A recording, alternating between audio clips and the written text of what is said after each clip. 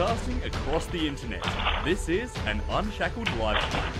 Brought to you by the Unshackled.net. Now, here's the Unshackled team.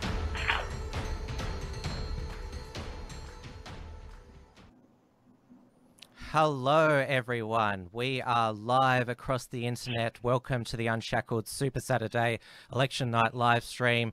We are live on the Unshackled's Facebook page and for the first time, our YouTube channel. I'm your host for this evening, Tim Wilms, editor in chief of the Unshackled. And joining me at the beginning here is Stephen Cable from the Cable Critique up in Brisbane. How are you, Stephen? Good. How are you, Tim? Yeah, I'm good, thanks. Now, the seat in uh, Queensland is up north in, in Brisbane, uh, Longman. I'm not sure whereabouts you live in, in Brisbane, but do you know the area well? I don't know the Longman area well. I live in uh, right smack bang in the middle of South Bank in Jackie Trad territory. It's as red and green as you can uh, find in any seat in Australia. Uh, but up in Longman, it's got a very interesting history. Uh, it was the seat that uh, was held by Wyatt Roy, who uh, suffered the curse of Tony Abbott in the 2016 election. And like so many other people that uh, stabbed him in the back, he uh, ended up being turfed out.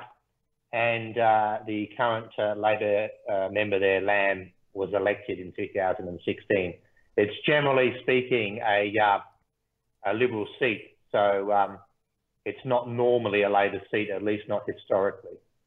Yes, much has been made of the fact that uh, Susan Lamb, she won based on One Nation uh, preferences, and probably what also went against the, the incumbent LNP Wyatt Roy was the fact that he was one of the, the Turnbull uh, plotters at the, the ripe young age of uh, 25. Uh, he was pretty burnt out by his time in, in politics, even went, I believe, to uh, Iraq to relive his youth. So the, the LNP, they pre-selected Trevor Ruthenberg who used to be a, a state uh, MP during the uh, Campbell Newman years. Yeah, um, and as uh, Malcolm Turnbull said when he was up here, um, Big Trev is as honest as he is big. it was a hilarious interview that uh, the Prime Minister did there. Uh, it's been a very interesting election campaign up here in Longman. They've been throwing everything at it. Uh, Bill Shorten's been throwing everything at it. Uh, Labor know how important it is for them to keep that seat. Shorten knows how important it is personally for him uh, to keep that seat. It's been a quite an interesting campaign. We've seen some very interesting things happen up here. We've seen Labor Party attacking the One Nation candidate, who is a tradesman, a tiler, I believe, by trade. And here you've got the party of the working class, uh, supposedly going all out to criticise and attack a tradie, why he's not their candidate uh, shows you just how far they've departed from the working class they're meant to represent. And uh, he was also a candidate for One Nation in the state election. And all this dirt that they've been supposedly digging up and throwing at him, uh, none of that surfaced in the state campaign. But now there's a massive national focus uh, on this uh, seat being retained by Labor. Uh, they're pulling out every single dirty trick and funny trick as well. Uh, in the absence of Pauline Hanson, they've got a heap of cardboard cutouts of Pauline Hanson all over the electorate that uh, people compose with. I was just talking earlier on to uh, a good friend of mine, a very good friend of mine who's in One Nation, and I asked him his opinion of that, and uh, he said, "Yeah, it's a bit of a gimmick, but people really love them." So uh, apparently, taking a photo of yourself with uh, the cardboard Pauline is almost as good as taking a photo with the real Pauline. Uh, yeah. Interesting sideshow. Yeah, yeah, it is, and I think um, her not being there, although uh, a lot of people apparently, who their supporters, really want to meet up with her uh, from a purely political, philosophical point of view, you would want the party to start branching out past that one person and bringing other people to the fore in campaigning. Uh, so uh, this guy is a true blue working class guy, and he just wants to see a difference be made. So uh, having Labor attacking him is uh, is quite amazing. Uh, the uh, Liberal guy that you just mentioned before, the LNP candidate. Uh, apparently, he can't get his acronyms right. He was awarded a, a medal, and uh, in stating what medal he got, he got one letter wrong. I don't know why or how, uh, but apparently it's a big deal if you are in the medal winning business. And uh, according to a news poll, uh, that's turned some people to say they're not going to give him their vote. So apparently it has had some sort of effect.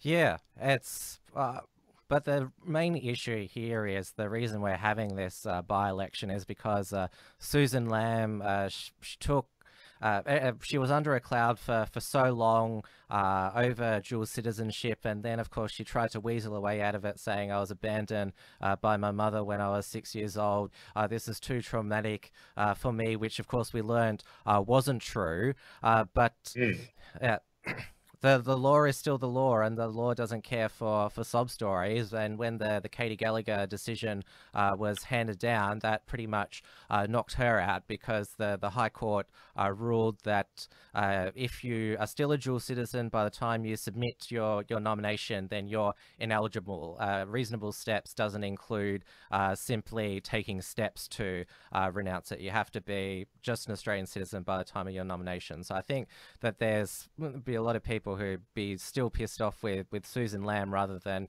uh, Trevor Ruthenberg just listing uh, service instead of defense medal on his on his bio, and he was pretty apologetic for it. I mean, he uh, apologized yeah. to the local RSL president. I, I, mean, yeah, we, we weren't um, uncovering a, a, fraud like there there was uh, in the the WA state parliament. No, nothing like that. I mean, if you if you want a comparison, the um, Queensland government here has just sacked the entire Ipswich Council because of uh, some allegations and wrongdoing going on there, and that's something pretty serious if it's true. Uh, he's the guy who gets one letter wrong. Uh, so yes, I mean, in the big scheme of things, it's not a big deal.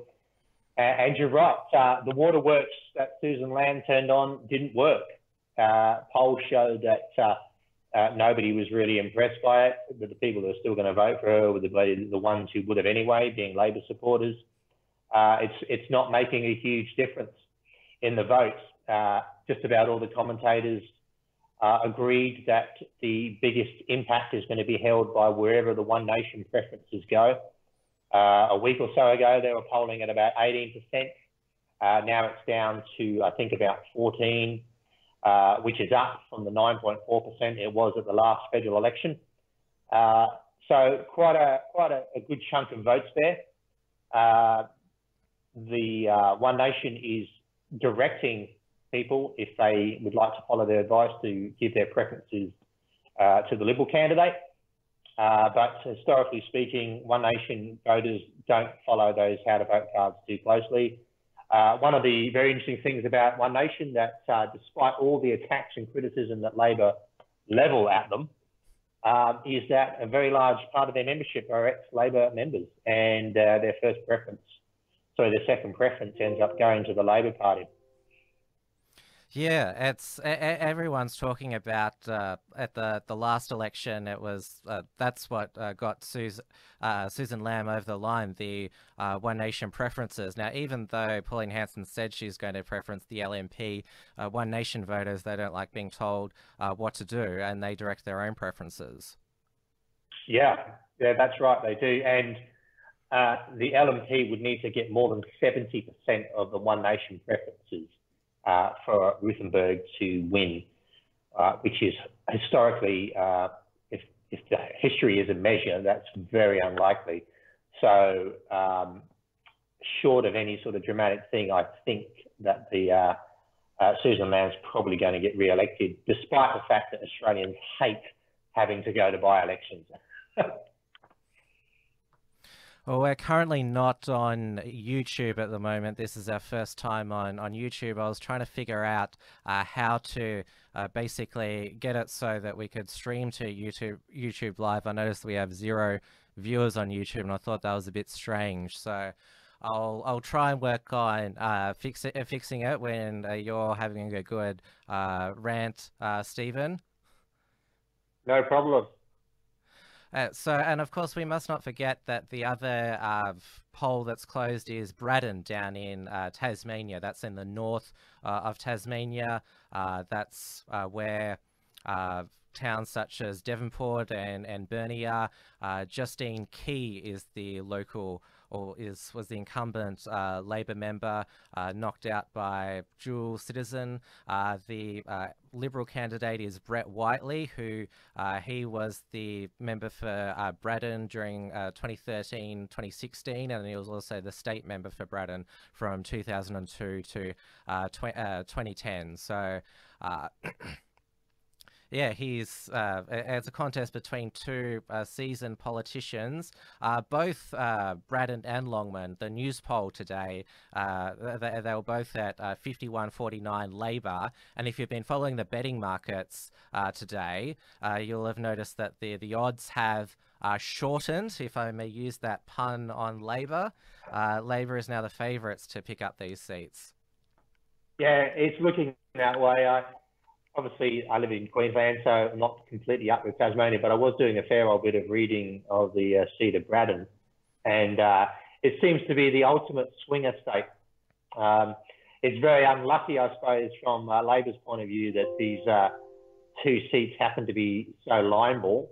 Uh, one of them swings backwards and forwards and has for decades, which is Braddon, and the other one is a seat that uh, had it not been for the Wyatt Roy debacle, they probably never would have got to start with.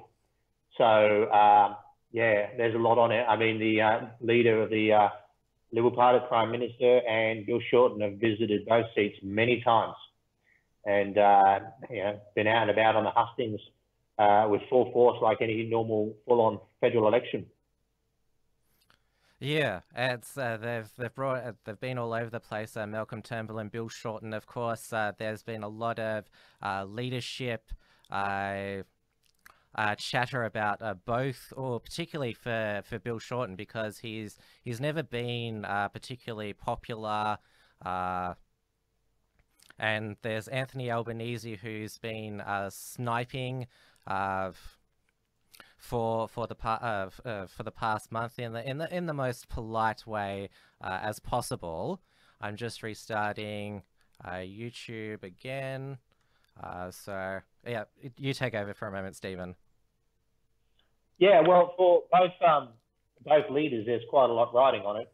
Uh, for Shorten, a win is a win is a win, and if he retains it, you know, he can fend off all those sort of suggestions and allegations that uh, somebody else should take over, despite the fact that the news polls are showing that Albo uh, is probably going to be a little bit more popular. But that always happens because it's human nature to think to yourself and believe, oh, this other guy's probably going to be a little bit better. But if Albo was in charge and subject to all the forces and pulls of uh, Labor Party wranglings and factionalism, uh, he'd probably find it just as hard to sort of come up with a workable solution to what his party wants as Shorten does. So uh, if you swapped them six months ago and then did the same thing, or if Albo had won the leadership when Shorten had and you did the reverse poll, you'd probably find something very similar. Uh, on the other hand, if Turnbull was able to win one of these and really pull something out of the bag, and uh, I'd say Longman was probably his best chance to do that, uh, that would do tremendous things to his leadership. If he was able to do that and win that, or even two of them, there's a, a, really good chance he could go to an early election instead of waiting till next May, uh, because it would show him just how much on the nose the uh, opposition really is. He would smell blood and and uh, maybe go for it. Yeah, uh, definitely. It still says we're offline here on on YouTube. Uh, this is, but uh, luckily our Facebook viewers are here. No, wait, I saw something there. Uh, we have got someone on YouTube now. Welcome. Welcome. Uh, it's it's it's one thing to perform uh, on camera live. It's a, it's another thing when you've got to do all the the technical things as a one man operation as well. well, hats off to you. Yeah, we're getting viewers on YouTube. So I was trying to figure this out uh, all all afternoon because uh, at the Unshackled, we're, we're jack of all trades, we do everything ourselves. Um, I was trying to figure out how to properly stream to YouTube, and I thought that I was doing the right thing by scheduling an event, but it didn't quite uh, work out? I see we've got a few viewers now on YouTube. Welcome to our new subscribers. Um, they, they were sent over to us uh, over the past few days by uh, the great Aussie YouTuber Bearing, who liked our uh, Lauren Southern and Stefan Molyneux Melbourne event uh, Antifa footage. Fantastic. Yep, so uh, we hope we can put on a, a, good show for you tonight. I mean, uh, election results are not as entertaining as Antifa antics. well, um, I think another issue to sort of you can discuss over this election, and uh, uh, we've we've certainly seen it here, um, and that is um, this uh, organisation that is completely unpolitically affiliated, totally neutral, but just always seems to happen to advocate things that are Labor Party policy, and I'm talking, of course, about GetUp. So the Libs are absolutely livid with them again, and they're demanding that the AEC look into them because, uh, as we know, they're just nothing but a front for the Labor Party. Uh, they're their campaigning arm and also campaigning for the Greens, and uh, so they should be. Uh, if they want to play in the political football field, uh, they need to be subject to the rules of the referee like everybody else.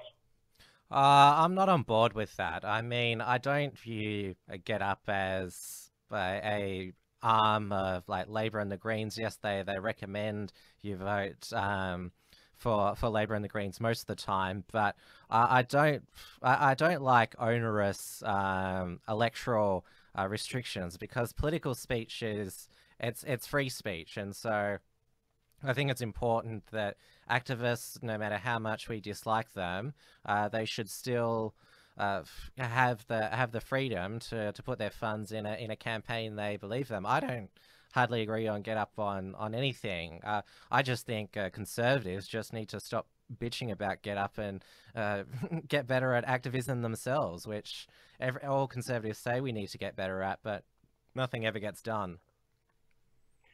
Yeah, conservatives do need to get better at it. In fact, conservatives need to get better at a lot of things. Uh, but it doesn't stop you, uh, doesn't mean that someone who's pretending to be a neutral uh, side player advocating for their uh, favourite things, all of a sudden, every time an election comes along, just so happens to constantly campaign for Labor and Green policy. Just take this current campaign at the moment. Uh, when they put forward the things that concern their members the most, which is normally things like the environment and sort of social justice warrior issues, all of a sudden, come this election, all their major points just so happen to be Labor Party policy. Uh, they are a front for the Labor Party, and uh, if they want to be campaigning, they need to do it by the rules. Whatever those rules are, if the rules were to change so nobody had to register for anything, uh, fine, then uh, let's do that. Uh, but if that's the rules at the moment, they need to play by them. I've got the the AEC tally room out at the moment, still uh, zero zero zero. So I'm not going to switch. We'll be able to beam the the results on the on the screen uh, when they when they come in. Um, but yeah, so far uh, nothing's come in at the moment, and probably people who've watched uh, a lot of my Unshackled content will notice I'm wearing glasses tonight. This is because the the broadcast live broadcasting software that we're using it has tiny the tiniest writing you could imagine. So I have to have these glasses on to basically squint to, to see it so I don't open open the wrong window. Cool. Uh, I, I, was mentioning before, before I got uh, flustered with all this technical stuff, is yes, uh, Bill Shorten's been under the pump uh, from Alban- Albanese, and uh, because uh, the, the statistic that that's always brought up is that no government has won a by-election from an opposition seat uh, for uh, uh, since about 90, 90 years, and so and that and that's a good mm. way for uh, Malcolm Turnbull and his uh, supporters in the Liberal Party to play down their uh, prospects, saying, "Oh, we're you know the underdog," or and so if they lose tonight, they say, "Oh, well, uh, their history was against us," um, and the the numbers in the Parliament will stay as they be as they were before. Yeah, well, statistically is correct. that is the case uh, if there was any seat you could do it with, you'd think it would be Longman. Um, but uh, not likely, I don't think, considering uh, what the polling is showing. One of the things about political polling in Australia, because it's compulsory voting and uh, compulsory preferencing, uh, it can give you some pretty fairly accurate results because when people tell you they're going to vote for someone, they have to legally go and do it.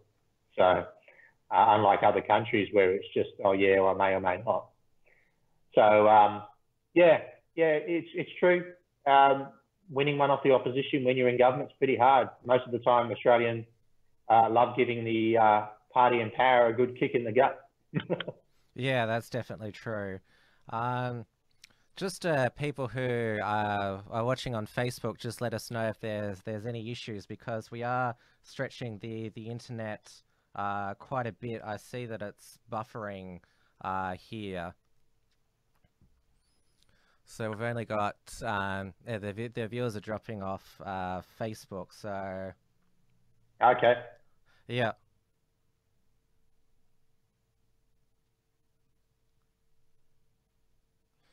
Uh, Still good, my end. I can see you clearly, mate. No buffering whatsoever. Oh, I'm looking on the live stream. Yeah, I think we're we're stretching the the internet here, so I might have to uh, turn off YouTube. I'm afraid. Hopefully that uh, fixes it. Is that the NBN helping you out there? No, we've got actually proper business internet there. So, oh, um, yeah, we're hoping it's better, but it's not not the the, the fiber optic uh, one. Anyway, back on to the, the business of the night, and we're getting some results in for uh, Braddon, I believe it is.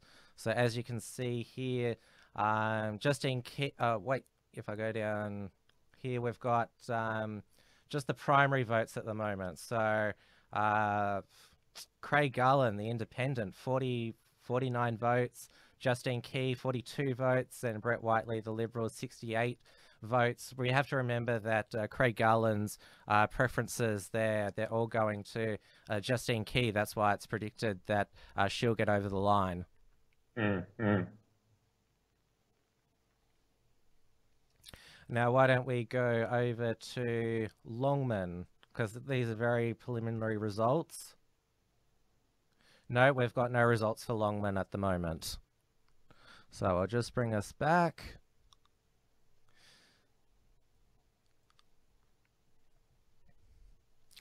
So it's uh, what's that? It's nearly 6:30 now, which means that the the polls are nearly uh, closing in uh, Mayo in South Australia, which is a seat up in the Adelaide Hills in the the outer uh, Adelaide area. Uh, Rebekha Sharkie from she was elected by the uh, from the Nick Xenophon team.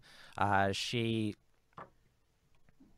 uh, of course, was knocked out because of the dual citizenship saga. Uh, Nick Xenophon, uh, he had tried to have a, a crack at uh, state uh, parliament, which was unsuccessful. So because Nick Xenophon's not there anymore, uh, it's uh, now uh, the Centre Alliance. And uh, Rebekha Sharkie, she's up against the, the Liberals' Georgina Downer, who, now even though the seat of Mayo was held by her father, Alexander Downer, for 24 years, uh, Georgina Downer has spent most of her active political life in uh, Victoria. So she's considered a, a fly-in uh, candidate. And so the locals there, they want to stick with the local, which is uh, Rebekha Sharkie. Yeah, I'm very pleased to see that it's not just Queensland here where people don't know where their countries they're citizens of. I'm glad it's sort of evenly spread throughout the country. Um, and uh, yeah, this is uh, I think it's just uh, that late Sharkie's uh, to win. I, I, am no fan of political dynasties whatsoever.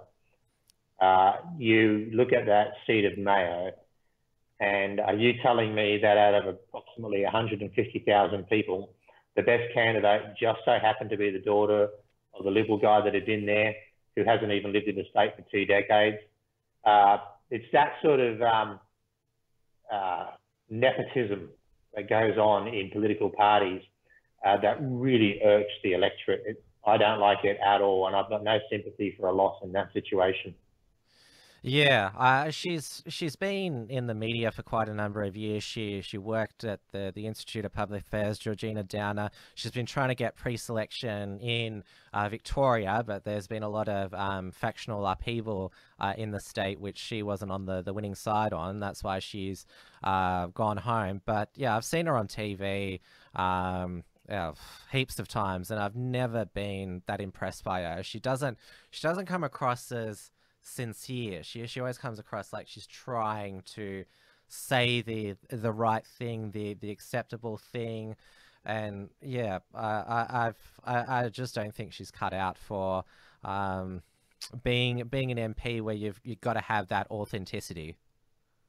Yeah, look, that certainly helps. You'd have to be uh, in an incredibly safe seat to sort of um, not have those skills and still win, uh, like Turnbull, who completely stacked Wentworth and uh, and got himself a very nice safe seat there. So yeah, you're quite right. And all the other parties that are sort of running there, they're all going to be uh, sending their preference to Sharkie's way to ensure that the Libs don't win that seat. So uh, it looks like that's very much going to be retained uh, by the current member there, I would say. Yeah. Um, it just it's still the the stream is still not loading on my iPhone. I don't know if it's just my iPhone or not, but it's it's unnerving me. But everyone says that everything is coming through uh, clearly. So just uh, keep the comments coming to know that uh, you can still hear us. And if you want us to to look at any uh, particular results or discuss uh, any candidates, uh, please let us know in the comments in case everything is going to cactus at the moment. We have got the, the local recording which we'll put up, so uh, we, have got that uh, back up. Uh, we may see go back to Longman to see if any votes have been counted yet. No, no votes counted yet in Longman. Uh, so still waiting on that. We might go back to uh, Braddon. And if we see, oh, there's been a bit more uh, movement in in Braddon, as you can see there. Uh, is there a two-party preferred up there yet? No, there's not. Uh, Justine Keay is way out ahead now on 113 votes, 35% of the vote. Uh, Brett Whiteley, or he's down to 96, 29.8% of the vote, and the the independent Craig Garland, uh, 64 votes, nearly 20%. Mm. Yep. So it's oh, I'll bring us back. Uh, so it's looking good for, for Justine Keay uh, at the moment. I, I, mean, Longman was always uh, considered uh, much more uh, of a, a, line ball uh, electorate. And I, have just got Sky on in the background as well. They're able to calculate the swings better than me. And yeah, it's everyone's primaries votes down. It's all going to, to Craig Garland. Mm. I noticed that uh, another player, a national player, got involved in this election in the uh, last few days, uh, and that was the uh, the Catholic Church was ending up sending out letters advising everybody through the schools that uh, their schools are going to get more money under the Labor model than the, uh, Liberal Party model, and do with that what you will. But um, that is thought that is probably going to have quite a bit of an influence too in the Longman electorate. Yeah, at it's, least. Uh, it's interesting the, the the Catholic Church going all in with the the Labor Party. I mean, they they were traditionally. Mm. Uh, a Catholic uh, party, Labor. There was a big split with the Catholics uh, uh in the in the fifties, but uh, the the Catholic Church they were opposed to um, uh, officially uh, same-sex marriage, which probably Labor campaigned more more than the the LNP, but they seem to have forgiven all that and uh, yeah, all in with uh, Labor. Yeah, they, they certainly seem to be at the moment. Um, you know, there's billions of dollars at stake, so um, who knows what else is happening behind the scenes there? But I, I find that very interesting. Uh, now that that battle's over, it's all back to business as usual. Who's going to be getting what, where? Mm. Yeah, uh, it's and, cold, been... hard politics. Oh, well, that's been Labor's been up to their usual tricks about our health cuts, uh, about uh, the, the, the class warfare, and they even revived some of the the Mediscare uh, stuff, saying there's going to be money uh, pulled out of the the Caboolture Hospital. Uh, uh this uh, uh, Bribie Island clinic's not gonna not gonna go ahead. they're the usual scare tactics, and it's interesting. Malcolm Turnbull said that he he, was never going to get uh, let Labor get away with lying again, but it's just so easy for, for Labor to, to scare people. Yeah, absolutely. It's going to be health to get on and education to get on with um, uh, if the if the uh, Liberal Party doesn't get stopped, and of course it's going to be heaven on earth uh, if the Labor Party gets elected. It's it's the same thing. Um, we're going to spend more money on health and education, and this is going to just be so awesome. But you really need to examine what they mean when they say we're going to be spending more money on these things. Uh, when you say you're going to be spending more money on uh, education, uh, particularly if you're spending more than above the inflation rate, uh, which means you're obviously putting more resources in real terms into the education system. Exactly where is that money going? Is it going into more administration? Is it going into unnecessary services? Is it going into their pet projects? Is it going into another uh, gender diversity program or something of that nature? Is it going into better or higher sort of wages and conditions or more days off for teachers? In other words, are students actually going to benefit from that additional funding? It's just one of those amorphous terms that gets thrown out there. Uh, it's very much like the last federal election where Turnbull had his mantra, jobs and growth. Well, what does that mean? Uh, does it mean more jobs in the government sector and a higher GDP tick? Is that what you mean by jobs and growth? Or is there actually going to be more real, actual private sector jobs that give a meaningful income and give real growth to the economy rather than some artificial inflation number? Yeah, I, I mean, well, like, like I said, uh, Labor's mantra at the moment is class class warfare, and yep. uh, uh, there's uh, if you've seen the the corflutes out today, it's that uh, uh, the the LNP candidates they want to give all the money to the uh, the, the, big banks, or they don't want to fund uh, health health and education. Uh, it's it's it's yeah, like I was saying before, it's real uh, old school stuff. Yeah, it's old school, and uh, it's it's kind of what you get if you combine old school uh, with um, radical student politics. It's uh, it's the sort of lines you'd expect to read in Green Left Daily. It is uh, weekly. It's uh, it's it's incredibly childish thinking and very shallow analysis. Um, and yeah, look, he's going to give. Everyone knows full well it's been proven time and time again uh, that if you give tax cuts to business, i.e., let them keep more of their own money, they're going to spend it on growing their business. And if you grow your business, you need more staff. And if you have an economy that's dynamic, uh, everyone's going to be fighting for staff. And one of the best ways you get them is you give them a higher wage or better benefits. And that allows you uh, to have the real, genuine growth in the economy, real better paying wages, not some uh, Labor Party mandated central control system where we're going to start ordering everybody what to pay you. Uh, tax cuts are a proven effective way uh, to give growth and give opportunity uh, for new employment.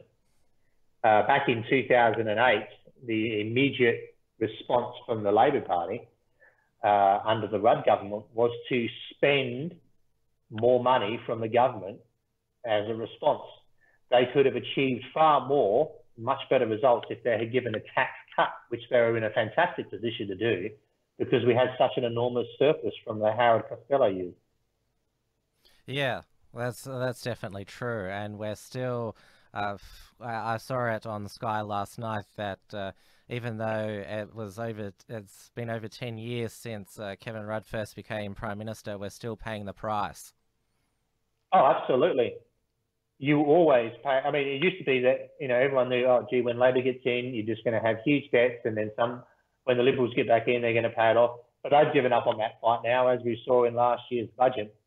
Uh, they basically handed down a Labor budget, and uh, uh, now both the parties in power have given up on controlling that debt. Now, I listened to a speech uh, some months ago by uh, John Anderson, who some may remember was head of the Nationals and the Deputy Prime Minister uh, for a period of time there in the Howard government.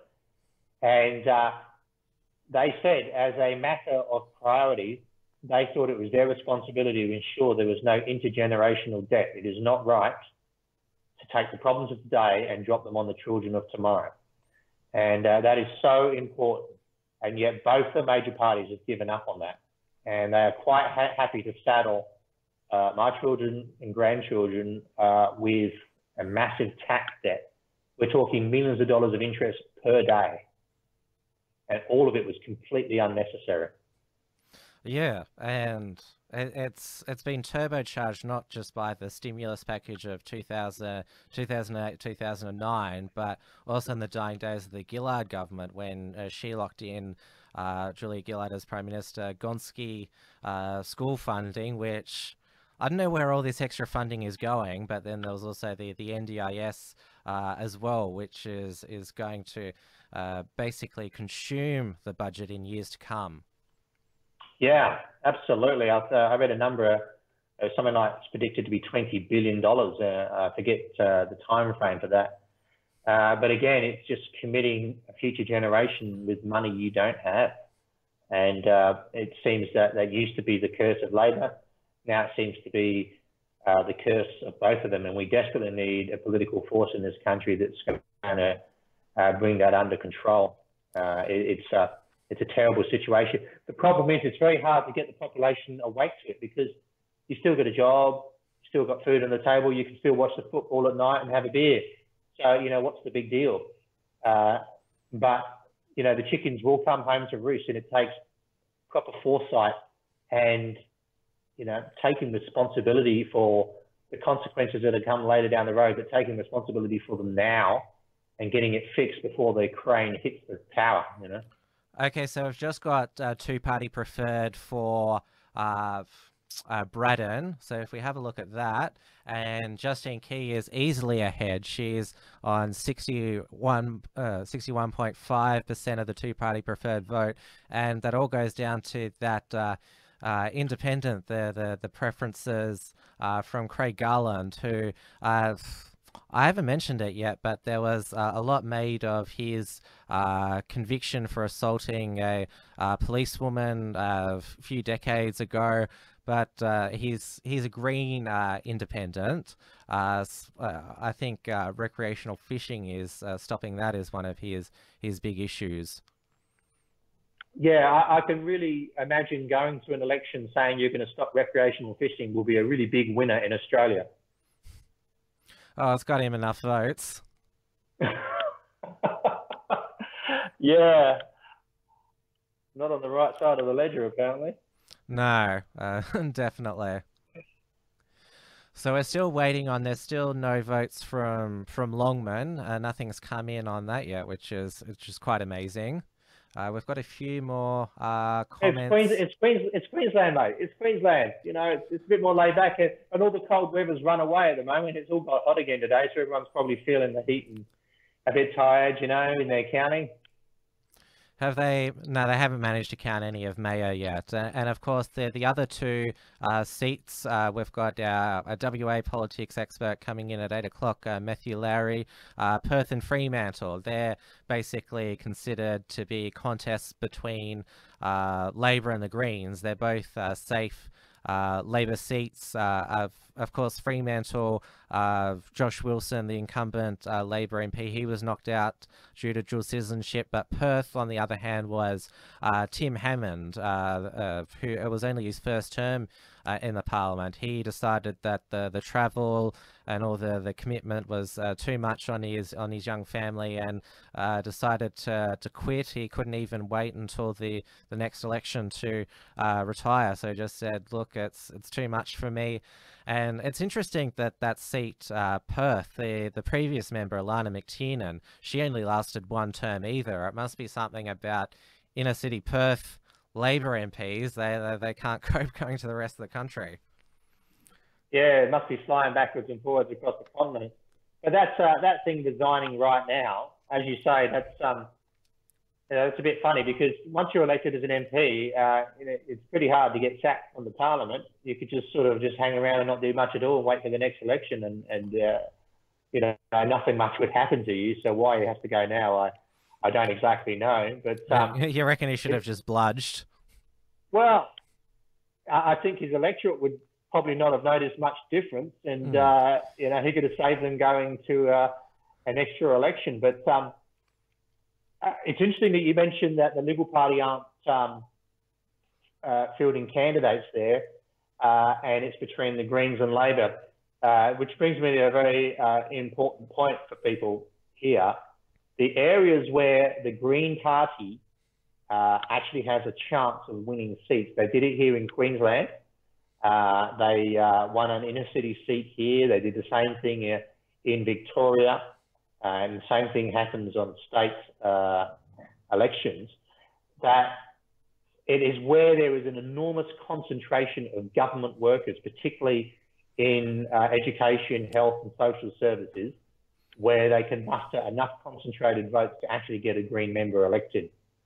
Uh, the statistics for the uh, Victorian seat, I think it was of Northcote, where the Greens won, if that's correct, uh, Tim in Victoria? Yes, the the state seat yeah. of Northcote. They they put off a massive upset, and so everyone uh, was yeah. was saying that of uh, Batman uh, with. Uh, uh, David Feeney, as, uh, as of course he said he renounced his citizenship but couldn't find the, the, the paperwork, which was hilarious. I used to refer to him as forgetful Feeney. Basically, um, yeah, after after that, uh, the the Labor power brokers cracked the cracked the shits with him, and uh, they, they they probably didn't think that it was good if he recontest uh, having a, a, cis white male uh, as a candidate in inner city Melbourne.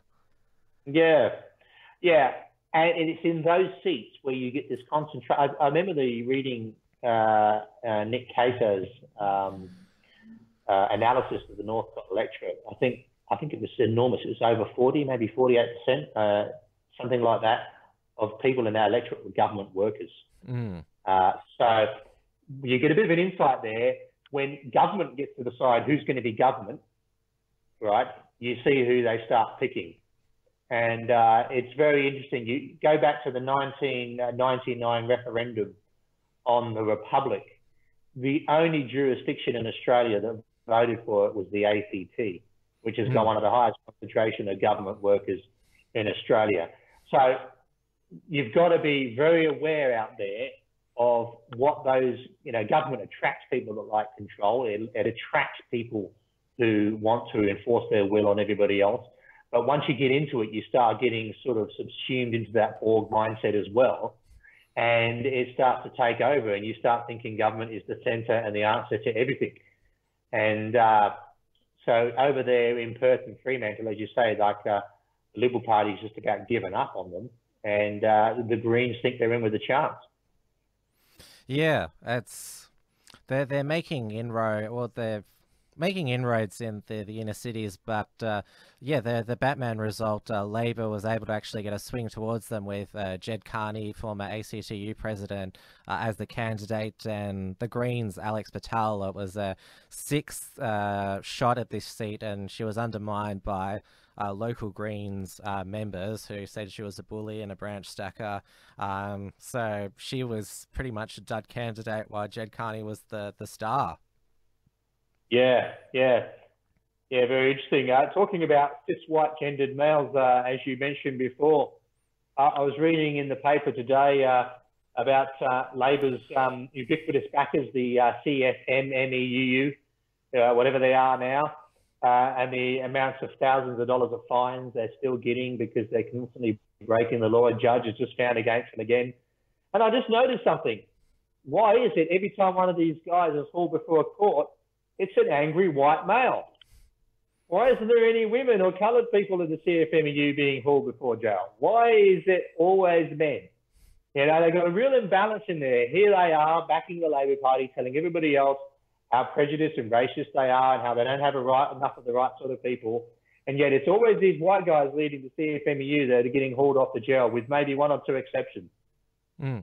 Oh yeah, de- definitely. The the men in the union movement are probably the, the biggest thugs and have uh, uh, uh, uh, the embodiment of toxic masculinity, which uh, all the feminists always rage about.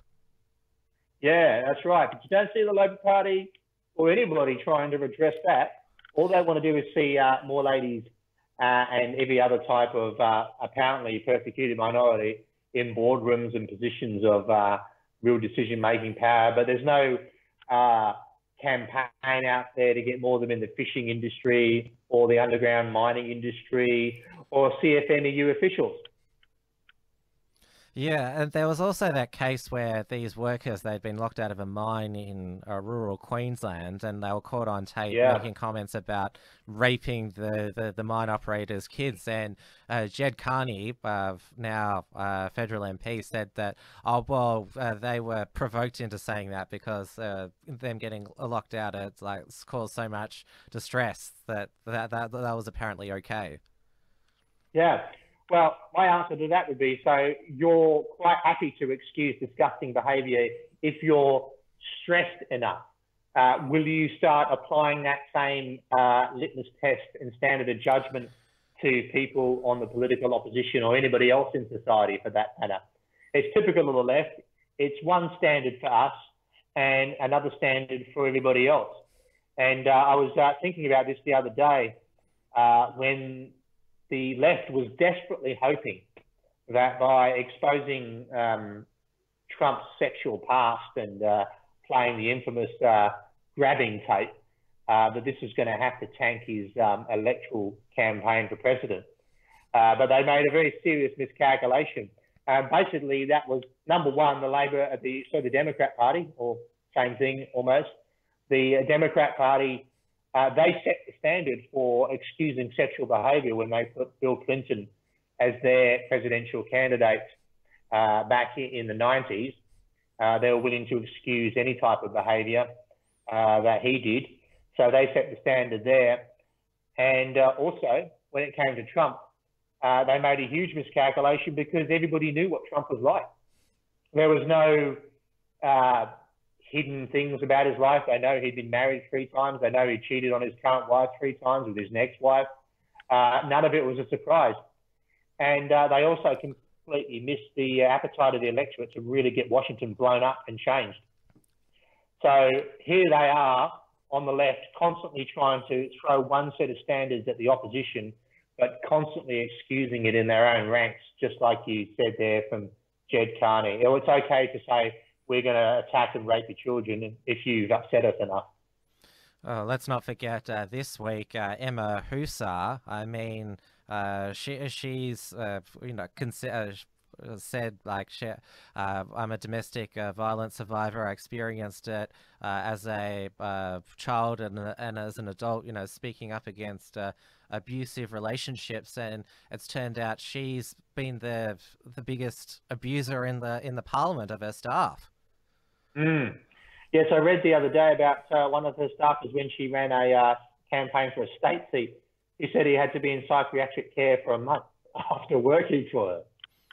Yeah, it's it's um it's unbelievable, and I think I I've commented last night that she what a monster. Yeah, now can can you imagine? Can you imagine what it would be like if this was someone on the opposite side of politics? Can you imagine how they would react if, say, for example, um, I don't know, um, Peter Dutton or, for example, Cory Bernardi had been credibly accused of forcing staff to pick up after their dog and, you know, abusing him and putting him into a psychiatric care. You know, they would say, oh, this is just typical of white uh, toxic masculinity. Well, now we've got uh, Husar toxic uh, behaviour, and I don't know what her background is. But uh, yeah, we'll, we'll excuse it in our guy or our girl. But if it's on the other side, uh, you can bet the uh, media will be jumping on board and running with it for all it was worth. Well, uh, Tony Abbott's uh, chief of staff, uh, Peta Credlin, of course, she was accused of uh, being a bully, and the, the end result was that they ended up uh, Liberal Party room taking out her boss. That that was that was how it was uh, handled on the other side, just to use an example. Yeah, absolutely. And do you remember when um, Tony Abbott sculled the beer. Oh, it was evil and it was actually a cause of uh, influencing domestic violence, apparently. But when Bob Hawke sculls the beer, he's a real dude, you know, like uh, it's just uh, the hypocrisy is disgusting. Oh, yeah. And Hawkey was a big womanizer as well. it's cheated on his wife, uh, had uh, married his biographer. I mean, yeah. Yeah, he was. And they you know, it's it's just the hypocrisy of the standards. If you're gonna, if you want to expose, if you want to hide and not cover that and not make that an issue as they did before. They all knew about it, but they didn't make it an issue. Okay, if that's where the game we're going to play, apply it evenly to both sides. Right, that's the key, and that's what they don't do. Yeah, we might get back to some results now because uh, things have uh, tightened uh, quite a bit in Braddon. If I I should refresh the page page first.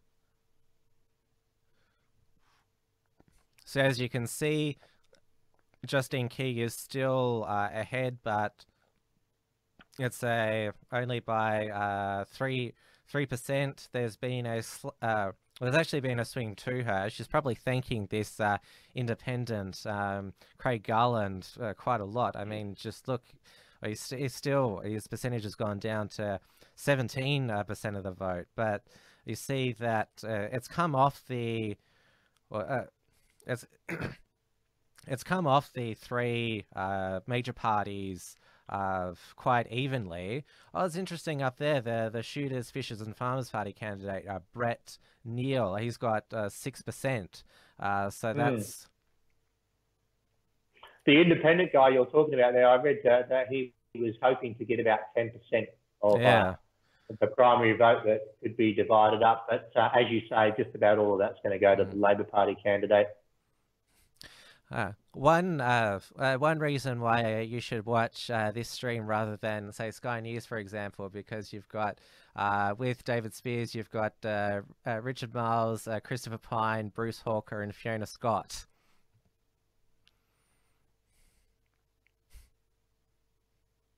I know that Christopher Pyne is not not the favourite of followers of the Unshackled. Nope, not at all.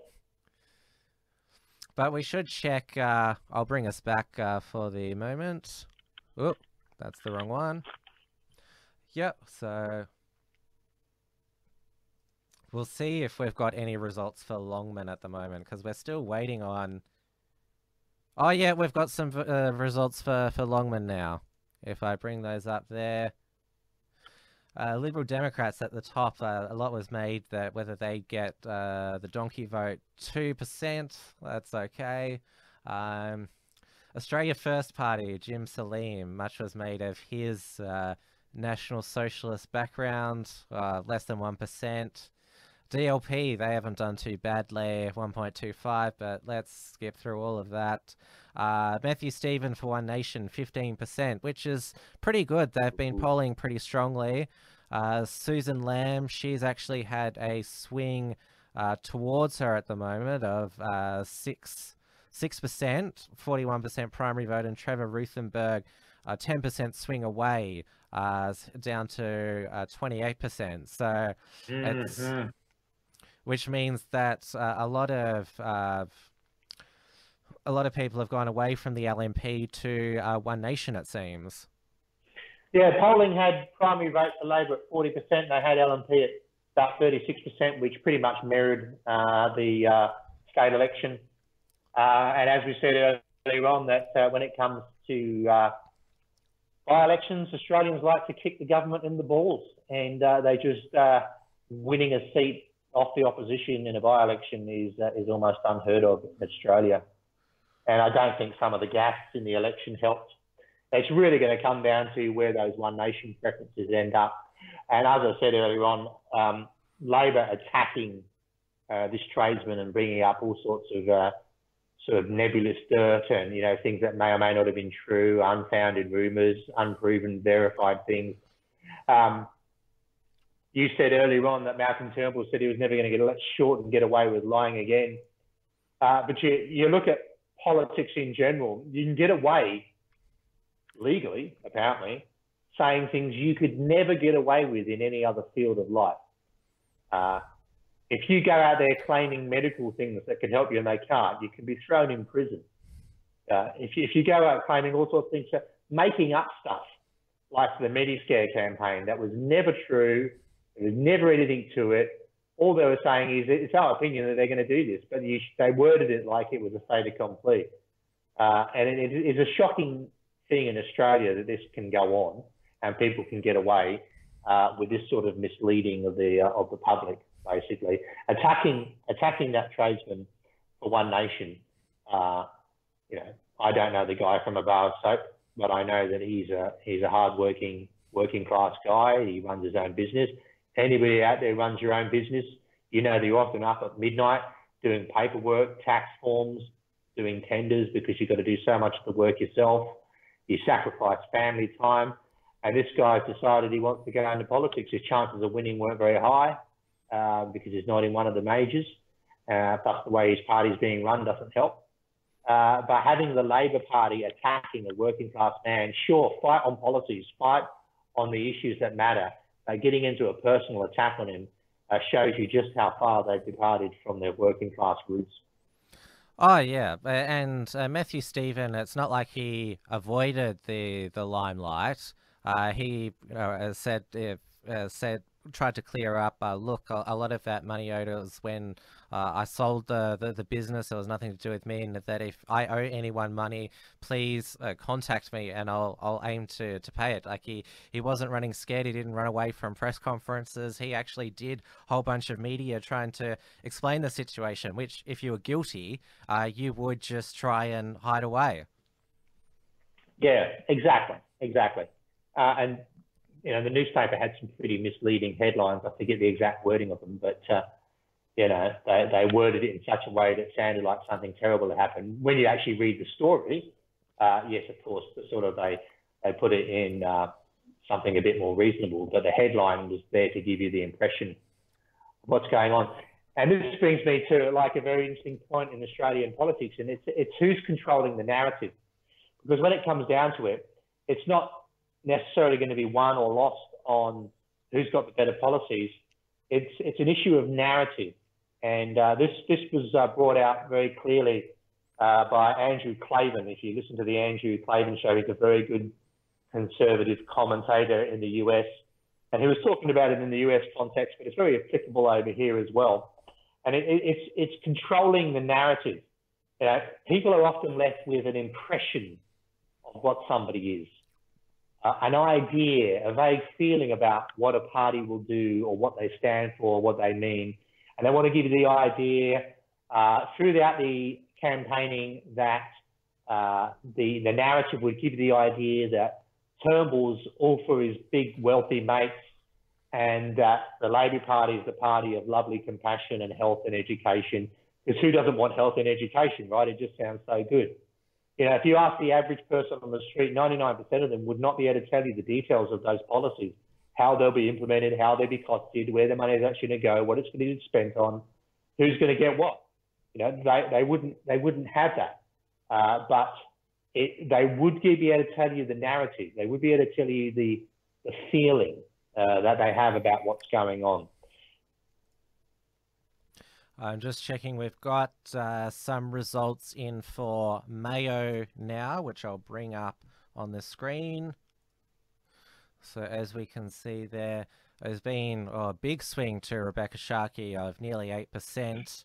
Uh, let's have a look at Liberal Party. The vote is steady at the moment on 30, 38%. Labor is of is of course uh, not standing. The or the Greens, their vote hasn't gone gone up much. But yeah, uh, so far the the signs are good for. No, wait, Labor is standing. What am I? I'm getting confused here. Yeah, Labor is standing. Uh, we're getting four percent of the vote with eight percent swing away. Wow, what a coincidence there that the swing away from the Labor Party it's exactly the same as the swing towards Rebecca Sharkie. Mm. She obviously seems very popular there.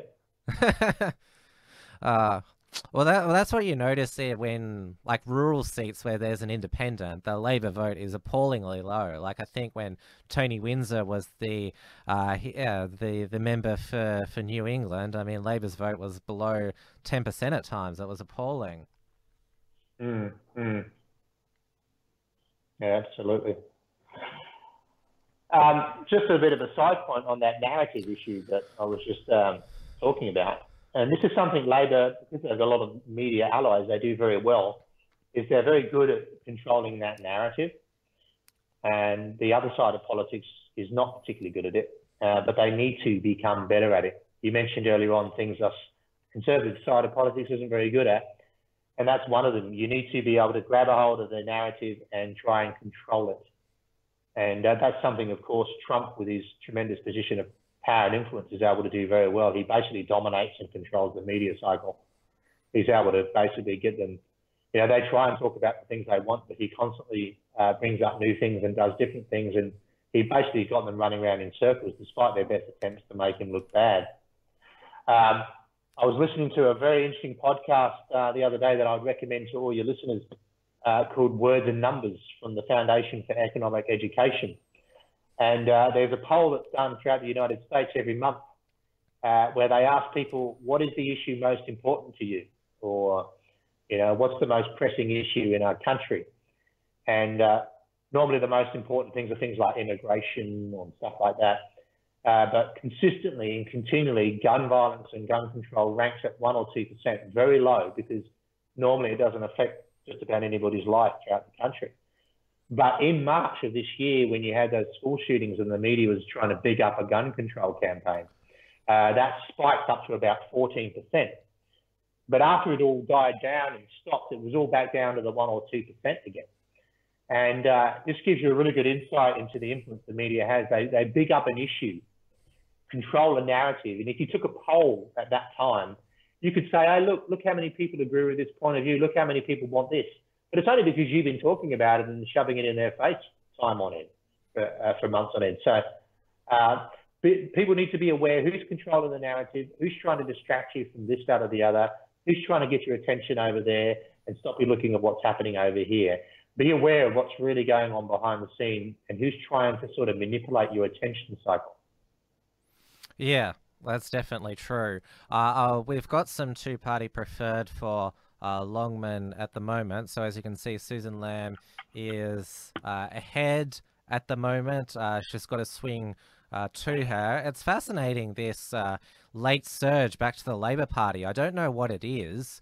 do you want to have a go at explaining it, Stephen? I, I, can't see the percentages. What are the percentages there, Tim? Uh, so we've got uh, yeah, 53% two-party preferred uh, to Susan Lamb, uh, 47 to Trevor Trevor Ruthenberg, and yeah, there's been a 5% swing to to One Nation, 10% swing away from the LNP, and a 5% swing to the Labor Party. Yeah. How can you explain it other than the fact that Australians like kicking the government of the day in the gut? Yeah, I think so, and I think the uh, some of the gaps in the campaign didn't help. Um, medal issue apparently uh, really bothered quite a few people, at least enough of a percentage to make them change their vote, uh, which is pretty sad when you think about it. That people could actually start changing their vote because a guy got one letter wrong on an acronym. Mm. Um, if if that's enough to change your vote, uh, the electorate needs a bit of education. I think. Um, and I think it also comes back down to uh, something that's often come up in circles, sort of I've talked in and, and been with, that um, Australians really do need to learn how the effect of their preferential vote works uh, and how important that can be. I don't think a lot of Australians actually understand how preferential voting works and how important it is for you to direct it where you want. Um, I think uh, I think uh, you know, it's it's incumbent on us probably to sort of make sure that's fully explained to people. I, I, I learned the other day that it was actually, um, um, uh, I think it was Billy Hughes uh, actually introduced preferential voting because conservatives were constantly fielding multiple candidates in elections, and the only way they could get them up against the Labor candidate is if they uh, had that preferential uh, system of vote uh, swapping. So um, uh, it's quite important for us to realise how that works and start making it work to our advantage. Yeah, I can't help but think that this is a precursor to what would happen in a federal election. I mean, there was talk that if the by-elections went the, the coalition's way, uh, Malcolm Turnbull would rush off to a federal election. I don't think that's going to happen now. He's going to uh, hold on for as long as possible, possibly May next year is the, the latest uh, he, can, he can go. Yeah, May 18th, I think, is the uh, is the last date it could possibly be. And uh, yeah, you know, the, the chances of him winning these were, were very low. And uh, um, you know, he'll probably serve out the full term. Uh, I think one of the other issues that people need to be aware of too is the enormous, enormous amounts of money that the left has to fight election campaigns. The unions are cashed up. Uh, there's uh, lobby groups that are very cashed up that can have an enormous influence. And because of their lackluster performance and the fact that they're hardly conservative in any way, shape, or form, the Liberal Party is finding it very hard to uh, get the funds to fight an election campaign, which is why the last time Malcolm Turnbull had to pony up, I think, more than a million dollars of his own money. Yeah. Uh, it, it is an enormous issue in electioneering, and it's only going to get more so. And uh, my message out there to anybody of a conservative mindset, if you're a businessman, businesswoman, you've got access to money. If you don't start putting it forward, the Labor Party and the Greens, if they get anywhere near the levers of the power again, they're going to make sure you don't have any money. So Yeah. get in the fight. Uh, Malcolm Turnbull uh, giving that money to uh, the Liberal Party, I think that was more an insurance policy for his own uh, job. Uh, see, I'm giving you, I think it was in the end, two million, uh, saying like, look, I've rescued the party financially last federal election. Don't you dare roll me. you reckon that's how you, you get to own a political party? I think Yeah. were caught short. I think they were caught short because the Cormack Foundation, who they relied on for a lot of their money, isn't handing over any cash at the moment. Well, that's only in the state of Victoria. Um, it's only a Victorian thing, though. They've um, None of uh, it goes federally. Are you sure? Yeah, yeah. It's it's the the dispute is with the state Liberal Party. Mm, okay. Uh, but uh, it's it's been somewhat resolved that uh, dispute. The uh, Cormack Foundation is deciding to funnel money directly to candidates rather than the admin committee, which they're uh, Victorian Liberal admin committee, which they've been having the the, the dispute with. Mm, I see. But they'll be getting all that uh, money, uh, Victorian parties that Daniel Andrews passed with his electoral reform. Was it 55 million over four years for the uh, for all the parties? Wow. Yeah, from taxpayers. Gee, that's a lot of cash. Hmm. But it's for the good of democracy because we can't have uh, uh, do- donations. Well, this is one of the things about the Australian system that you know I'm not a huge fan of. Uh, fir- number one, the, the first pillar in the system is you legally have to vote. Two, you legally have to give your preferences to someone. It almost always guarantees the two major parties get in. So everybody has to vote, and then if you get above that four percent, you all get so many dollars per vote. So it's a guaranteed way of taxpayer money going to political parties. Now, if that's the field you have to pay in as a political party, then so be it. But, gee, I, I'm not a fan of that whatsoever. Yeah, uh, it's yeah, it's it's a difficult uh, thing. I mean, I, I still would like to see uh, political ideas uh, blossom based on their their popularity, which is of course. Uh, money in politics. I mean, if you believe in a cause, you donate uh, five dollars or fifty dollars or, or or whatever to it. I mean, uh, that that's what you do with anything that you're passionate about. You put your money where your mouth is. Yeah, absolutely. And uh, the fact that you know you're not getting a lot of money in shows that, um, you know, particularly the major parties who've been around for years, who would have no excuse for not being known. Uh, shows you you're pretty much disconnected from uh, the people you're claiming to represent. Uh, the Labor Party is, is reliant on a few very big donors like the unions, uh, but union membership is lower than it's ever been uh, in Australia. Um, you know, the Liberal Party is finding it hard to get money from their traditional areas, the uh, business community. In fact, the Labor Party up here just brought in legislation to make it so that uh, developers can't give money to political parties trying to strangle off uh, a source of funding to their political opponents up here.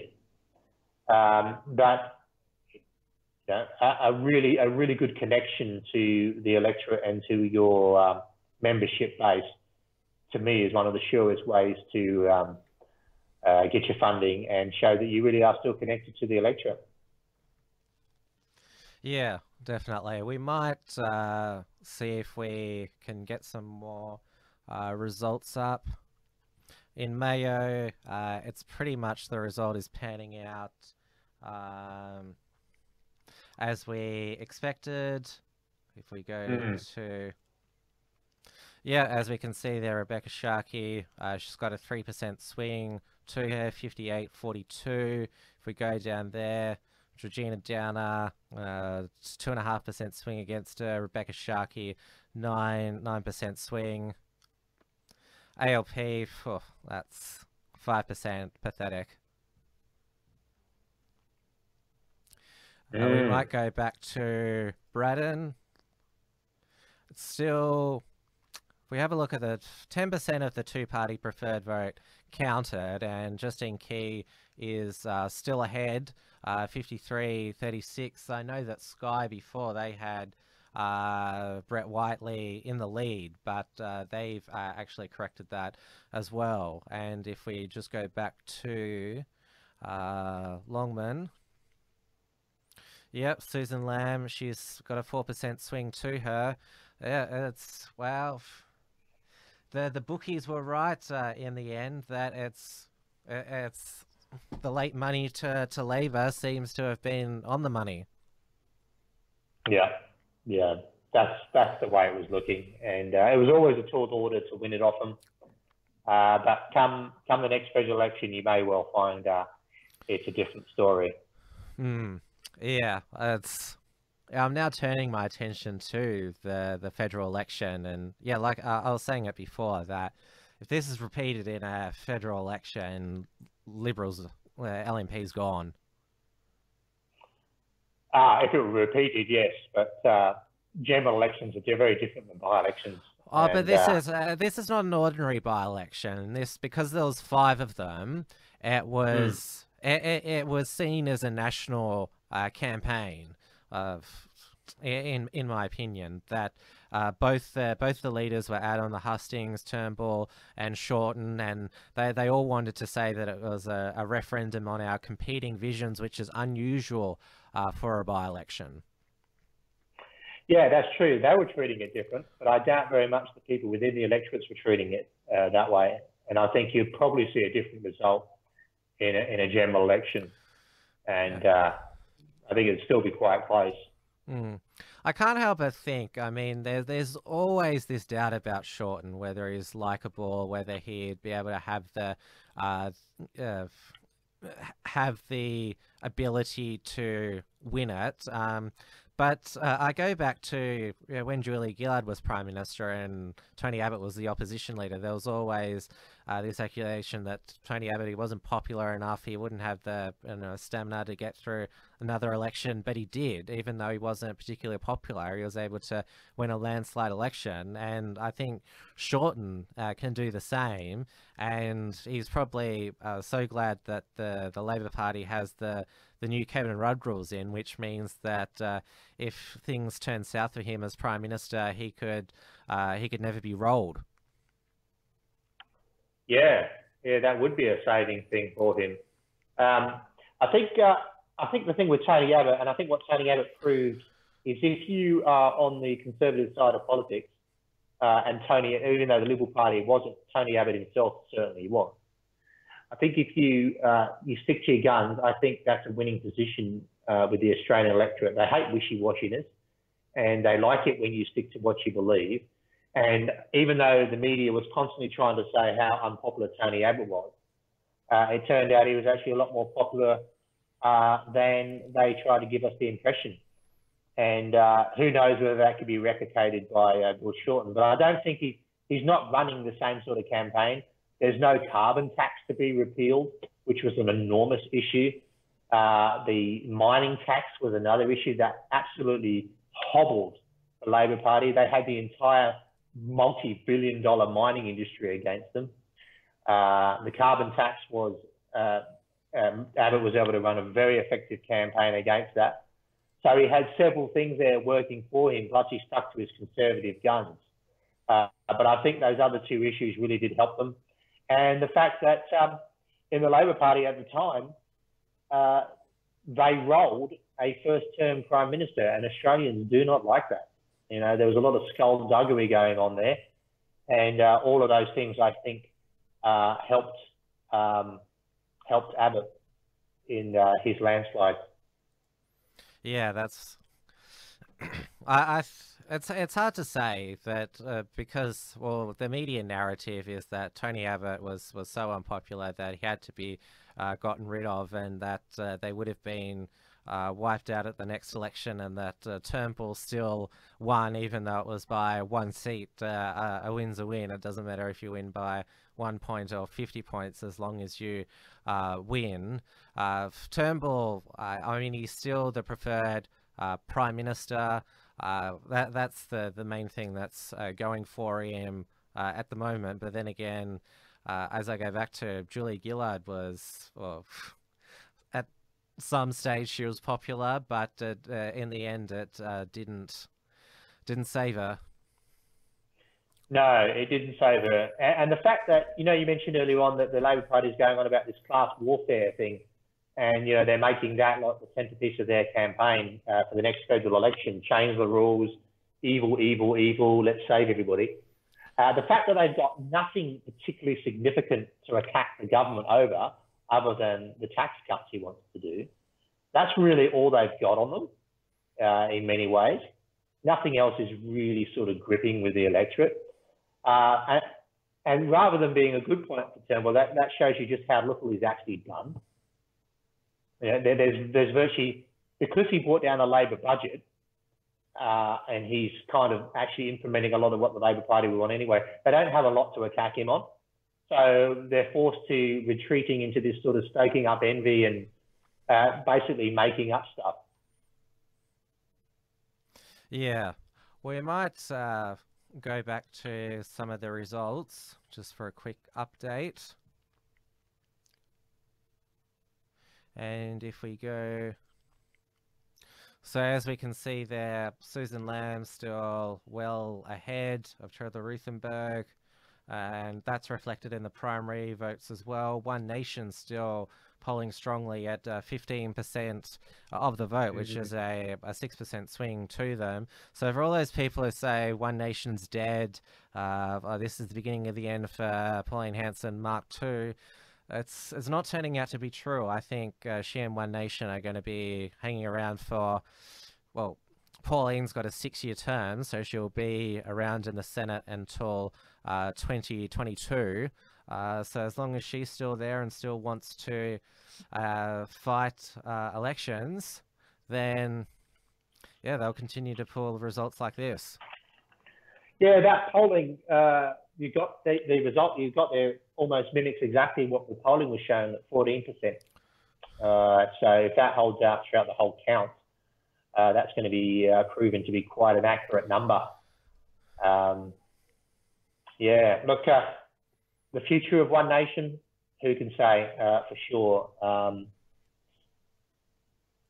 I, I, I have heard that there is a lot of unrest amongst the members. They really do want to have some influence. They really do want to have a say and that hasn't been given to them yet. And the way, if history is any guide, that's not going to be.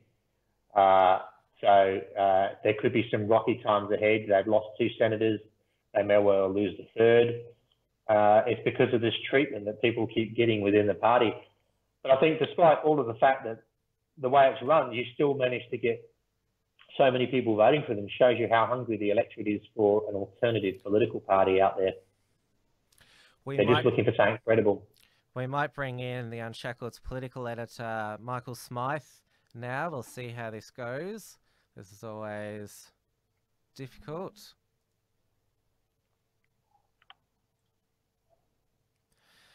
Uh, he's been uh, volunteering for one of the, the candidates uh, in Longman uh, today. He'll be able to tell us all about it. Hi. Hi. So, because we've got three people here, uh, Stephen, you'll need to move to, I believe, your left, or move yourself left. Yep. Sorry, give me a second. I got to turn it up a bit. Uh, the background noise is not too bad there, there, Michael. Oh, what's happened to you, Stephen? Oh, it was. It I'm here. I'm here. Don't yeah. worry, mate. Don't, I'm not leaving you. Yeah. No, uh, Stephen. Sorry. I'm, oh, it is quite noisy here. Sorry.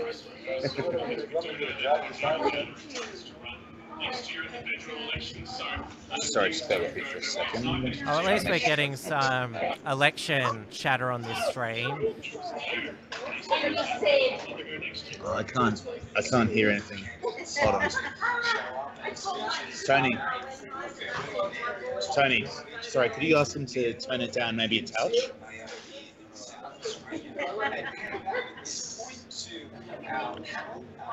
All right.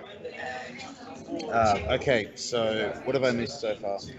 Uh, well, it's looking like Labor is going to romp at home in Longman and Braddon after all, and I think the rest of the uh, contest are just going to be what everyone was predicting. Rebecca Sharkie is going to easily win in Mayo, and um, well, the polls haven't closed in, in Perth and Fremantle yet, but I think we know how, how that's going to go. That's what it's looking like. Sorry, just give me a second. I'm going to change the microphone over.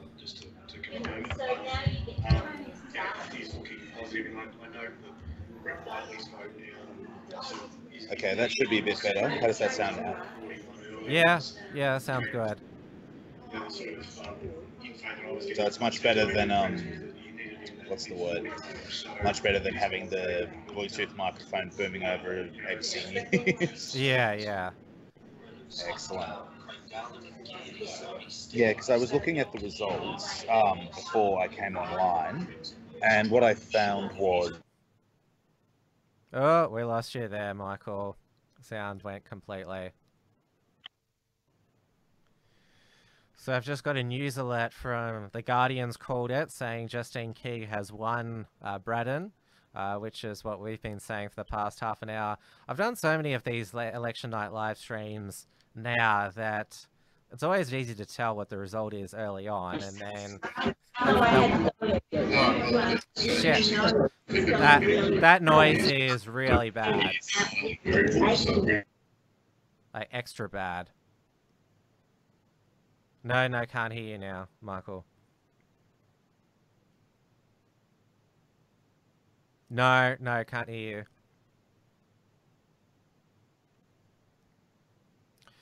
Ah, uh, the joys of live streaming on election night where everyone's everywhere. You can hear me, can't you, Stephen? I can hear you, mate. Yeah, look, okay. this is this is what's going to happen, mate. Uh, Labor's going to keep their seats there. Um, going to continue on. She'll just be an independent, and uh, life will life will roll on for the parliamentary leaders. They'll get to the next election and they'll thrash it out uh, over the issues that we've been discussing, and then uh, the Australian electorate's going to be left saying, "Hey, we've still got these same two parties that have been ruling this country for 70 years, still battling it out, not giving us much choice. Where is our other option?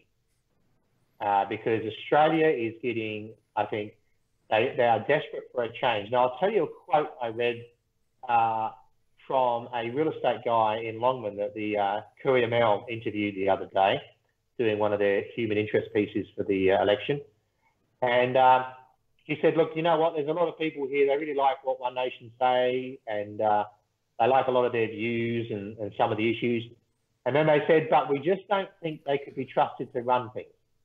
And I think that really is the key to a third political force in Australia actually breaking through and breaking the political duopoly. You need to be able to prove to the electorate that you can be trusted to run things. And I think that's a key to breaking the power grip that the Labor and Liberal uh, duopoly have over this country. Because right now, there ain't much difference between them. Uh, I still think that there's a decent enough difference. I mean, uh, Liberal LNP coalition, they're always going to be the least uh, worst option. Uh, yes, if, if the least worst option is the best accolade we can give them, uh, uh, yes, I, I, would, I would agree with that. I mean, out of the guard that punches you three times a day as opposed to the guard that punches you once a day, I'll pick the guard that punches you once a day. Uh, the guy, uh, if I had to choose between the guy that takes $100 out of my pocket as opposed to the guy that takes $50 out of my pocket, sure, I'll pick the least worst option. Uh, but as far as actual substantial policy governance differences, there's virtually nothing between them. They all still want high immigration. They want the artificial GDP numbers. Uh, they are all sort of still mucking up defence spending and defence priorities. Uh, they're virtually the same on most social issues. Uh, it is a duopoly. It's like the difference between Coles and Woolworths. Yeah, uh, I somewhat disagree with you. We've lost uh, Michael now, so we'll bring back us on the, the two screen there. Uh, is being, uh, I hope I get her, her name right. Michael, uh, Michael's been volunteering with um, the Australian Country Party candidate, uh, Blair and Vera, who, if I bring up uh, back up Longman, uh, she has got uh, 1.95% of the vote, which is 309 votes. So a good I, start. A good start. Uh, it's still for me like you've got to hit that magical four percent to get the uh, electoral funding, in my opinion. Oh yeah, no, that's that's definitely true. But hey, uh, by the time the counting's finished, uh, uh, maybe maybe they'll have uh, they'll have a few more. Hmm. Oh, you'd hope so. Yeah. So, what else? We'll go back to Mayo. And as we can see, yeah, Rebecca Sharkie easily on track to to win. Uh, Georgina Downer is, is clawed back some of the primary vote, but all the, the preferences are going to Rebecca Sharkie. She'll easily get over the line. That's why the two-party preferred is 58-42 as current. Yeah. Yep.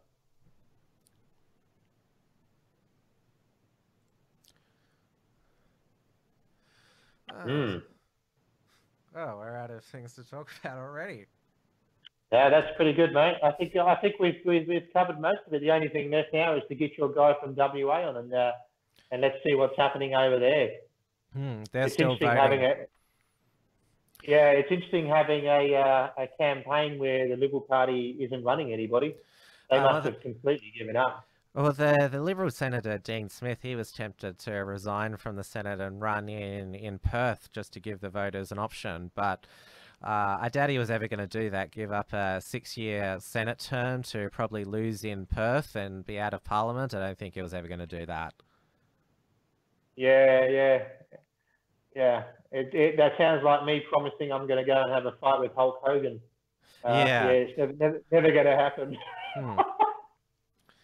oh, here's a bit of, um, as you could see me drinking this drink uh, throughout the show, couldn't you? Yes, I could. Uh, well, guess what it came with? It came with a plastic straw. Oh yeah, yeah, plastic straw, yeah. They're, Evil. They're, yeah. Evil I, straw. Yeah, I can't believe that they're the new Great Satan now. Plastic straws. I, I it's. I, it's been, there's been a lot of memes the the, the past few days. Uh, uh, people doing uh, like uh, drug deals with plastic straws. You got any straws I can have? I read the other day that in Santa Barbara, you know, in California, they're like the center of all lefty nonsense. Um, it is now, you could actually get a jail term for selling straws or giving away straws or something, but it is no longer a legal crime, a crime to knowingly give somebody AIDS. Mm, yeah, I've, say, I've seen that as well. Uh, I made a comment today that uh, if you get caught with a bag of cocaine in the future, are you actually going to get into more trouble for having the cocaine in a plastic bag or a, plas- a bag that's made out of plastic? Is that going to be or having a straw to snort it with. That could even get you. oh, yeah. What, what, uh, what, no, but if you use like, uh, well, some, some people use bits of like paper. As long as you use paper, then. Oh, right. Yeah, yeah, yeah. Because we're going to be having paper paper straws now. That's what McDonald's is doing. Yeah, yeah, yeah, yeah. Oh, dude, that's. Uh... Oh, so oh, so they're only getting only plastic straws are bad. Uh, paper straws are okay, are they? Yeah. Yeah, paper straws. Yeah, yeah. Well, plastic straws were invented by white men. Okay, evil white males. So that's that's probably the real source of the problem, as you see. Hmm. God, what else is going to be contraband in this room?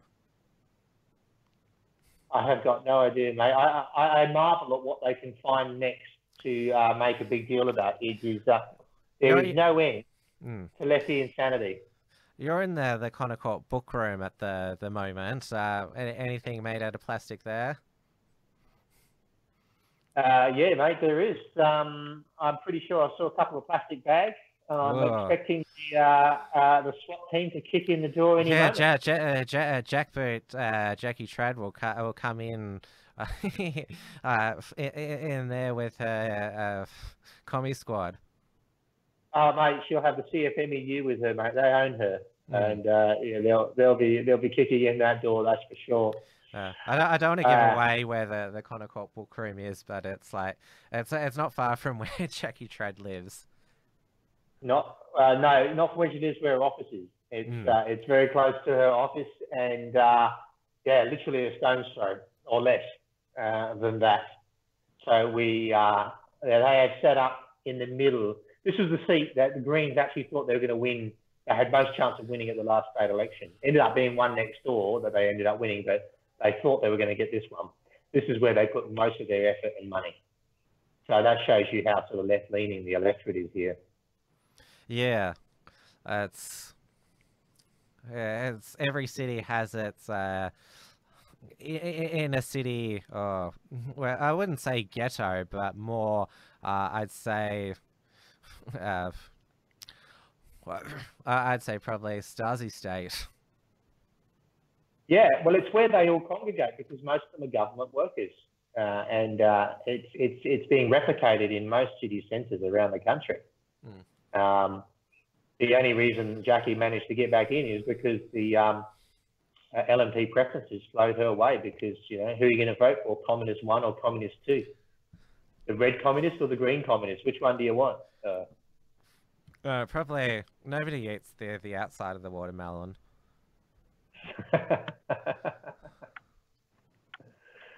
yeah. Now I understand down in your way the um, uh, the uh, Andrews government's getting itself into hot water. They're actually under investigation for uh, using taxpayer funds for electioneering. Is that right? Yeah, uh, they're they're actually under police investigation now. Uh, six uh, Andrews government uh, ministers, which normally, if a politician does, so, uh, so, uh, so I'll give the context is that. Uh, I think it was 19 Labor MPs in total uh, mis, uh, misused their electorate staff, uh, sent them to marginal electorates to campaign instead of doing uh, electoral work, which uh, there was an independent ombudsman in investigation and found that Labor Party mis, misspent uh, $387,000 worth of uh, electorate resources uh, in Wow. yeah, and uh, no, what's worse is that to stop, they tried to stop the ombudsman investigation, uh, which cost 1.5 million in legal fees. That's amazing. And so Daniel Andrews said, was- yeah, Daniel Andrews said, oh, we paid the $387,000 uh, back, so should all be sweet. Oh yeah, yeah. I, I'd like to try that line with the with uh, with you know uh, misappropriated funds myself. Uh, oh look, I'll, I'll pay it back. The fact that I broke the law to get it, uh, you just ignore all that. Yeah, yeah. Good line. Thank you. Mm. Yeah, uh, he, uh, there's pressure for these six ministers to stand aside now, which of course uh, Labor Party never does. I mean, they, they hang on to their uh, their own uh, forever. Um, but yeah, now that the police are getting involved, normally just politicians they they seem to get away with this. They they pay the money back if they've misspent their travel allowance. They just pay the money back and nothing. Where if if you and I do it, I, I mean, just look at how um, if you're e- even if Centrelink overpays you by mistake, they, you know, you're the criminal. Yeah. So if that's the case, you've got to watch out now for what's the distraction they're going to bring along to try and get the public's attention off it, and what are they going to try and get everybody to focus on now? Because that's what they do. The minute they're really in the legal crosshairs, they look for a distraction. If you get caught with Monica Lewinsky, you start bombing Yugoslavia. What can Daniel Andrews do? I mean, he's big on virtue signaling, on social justice issue. Uh, all men were responsible for the rape and murder of Eurydice Dixon. Um, they, he doesn't apply the same thing to um, the the African community, which is uh, interesting. He doesn't say that all Africans are responsible for African uh, crime, but all men are responsible for all men's crime. Oh, he's an absolute hypocrite. But uh, it's like the banks here they are discovered in the uh, Royal Commission to be uh, charging people for things they've never done, uh, ripping people off. They're really on the being hauled over the coals. But they've got millions of dollars to spend on social justice issues, telling us how awful we are and how we need to be doing what they say. He's been getting rid of one of these big projects, Daniel Andrews, and uh, the Victorian uh, state election will will probably be our big uh, next live stream, unless uh, uh, Emma Husar uh, pulls the pin in the next six months or someone dies. Um, but yeah, uh, it's shaping up to be a very close election because, of course, the, the Liberal Party's had those internal dramas. It should really all be on a platter for them, the, the Liberal Party, ah. with uh, obviously these uh, scandals and the, the African crime issue. Uh, the fact that they still won't build the, the east-west link. I mean, there's there's so many things that they've they've done wrong. Yeah, you would think a competent opposition, you know, of a major political party, as you say, would be on a platter for them to win. Uh, you should be able to absolutely trounce it in with such a badly administrating government uh, who's completely abused their position of power. And not only that, they were responsible for the Safe Schools program uh, you know, you think you should be able to romp it in. What is wrong down there? What is the Liberal Party doing so wrong that it's so line ball? The last polls I saw, it was 50-50. And on top of that, what happened to the Australian Conservatives down there? They were ready to sort of mount a campaign, and now they're only backing one candidate in the upper house. What's happening there?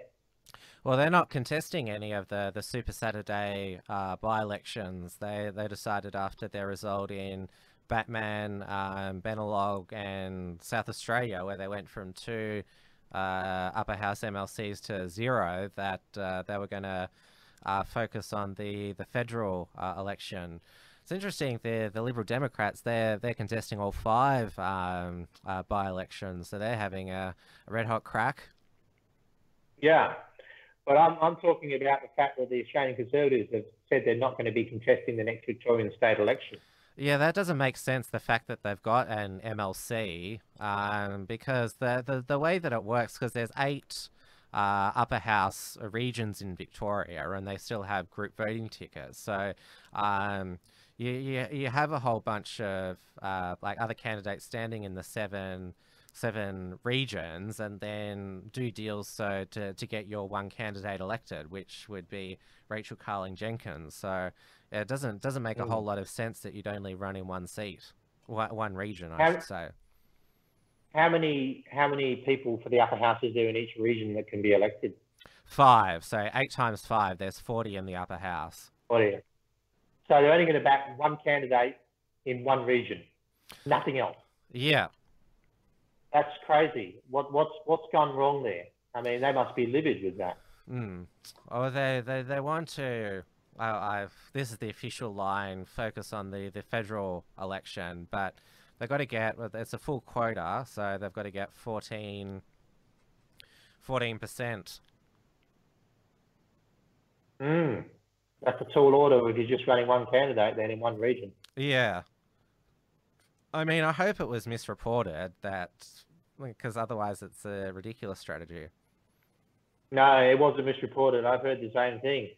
But but Tim, we are missing one of the biggest news stories of the week in all this by-election clamour and cardboard cutouts and people getting acronyms wrong, people forgetting what country they were from and what citizens, countries they're citizens of. We missed one of the biggest news items of the week, and that is that Fairfax is going to be no more. Yeah. And it just goes to show, it just goes to show you, if you keep telling your audience they're evil, disgusting, and they need to shut up, they stop buying your product, you make no profit, your shares become worthless, and you get picked up by somebody uh, because all they really want is your digital domain assets because your newspapers are next to worthless. Mm. So here's the lesson for everybody out there in the media: don't tell your audience how awful they are. I, I, I refer to it as fail facts. Well, 'cause it- I mean, it's been shedding jobs, shedding its share price, uh, uh, uh, having massive asset write-downs for, for nearly a decade uh, now. And, of course, the Turnbull government, uh, they uh, changed the cross-media ownership laws. They got rid of the, the two out of three rule that you could you couldn't own you could only own two out of three assets television radio uh, newspaper and abolished the, the the reach rule so that opened the way for uh, nine and fairfax to merge Yeah. Well, look, the media environment in the world today is so vastly different from the media environment where Paul Keating brought those laws in. I believe it was. yeah it, trying to regulate media in 2018 is almost like trying to hold water back with a sieve. It, it, it, it content rules, telling people what they can and can't own in areas. It's it's becoming more and more redundant uh, nowadays. Uh, I've got three boys. They're all adults. Uh, they get almost all their information not from the news on TV. They've got uh, people they watch on the internet and uh, places where they get information from. The place where I work, there's quite a few young guys there in their early 20s. They were saying the other day they don't watch much TV. Uh, it's becoming less and less of an influence. I don't think any of them ever read a newspaper. I'm the only one in the house where I live that reads a newspaper. Uh, it, it's it's it's like trying to hold back a flood uh, with a cup.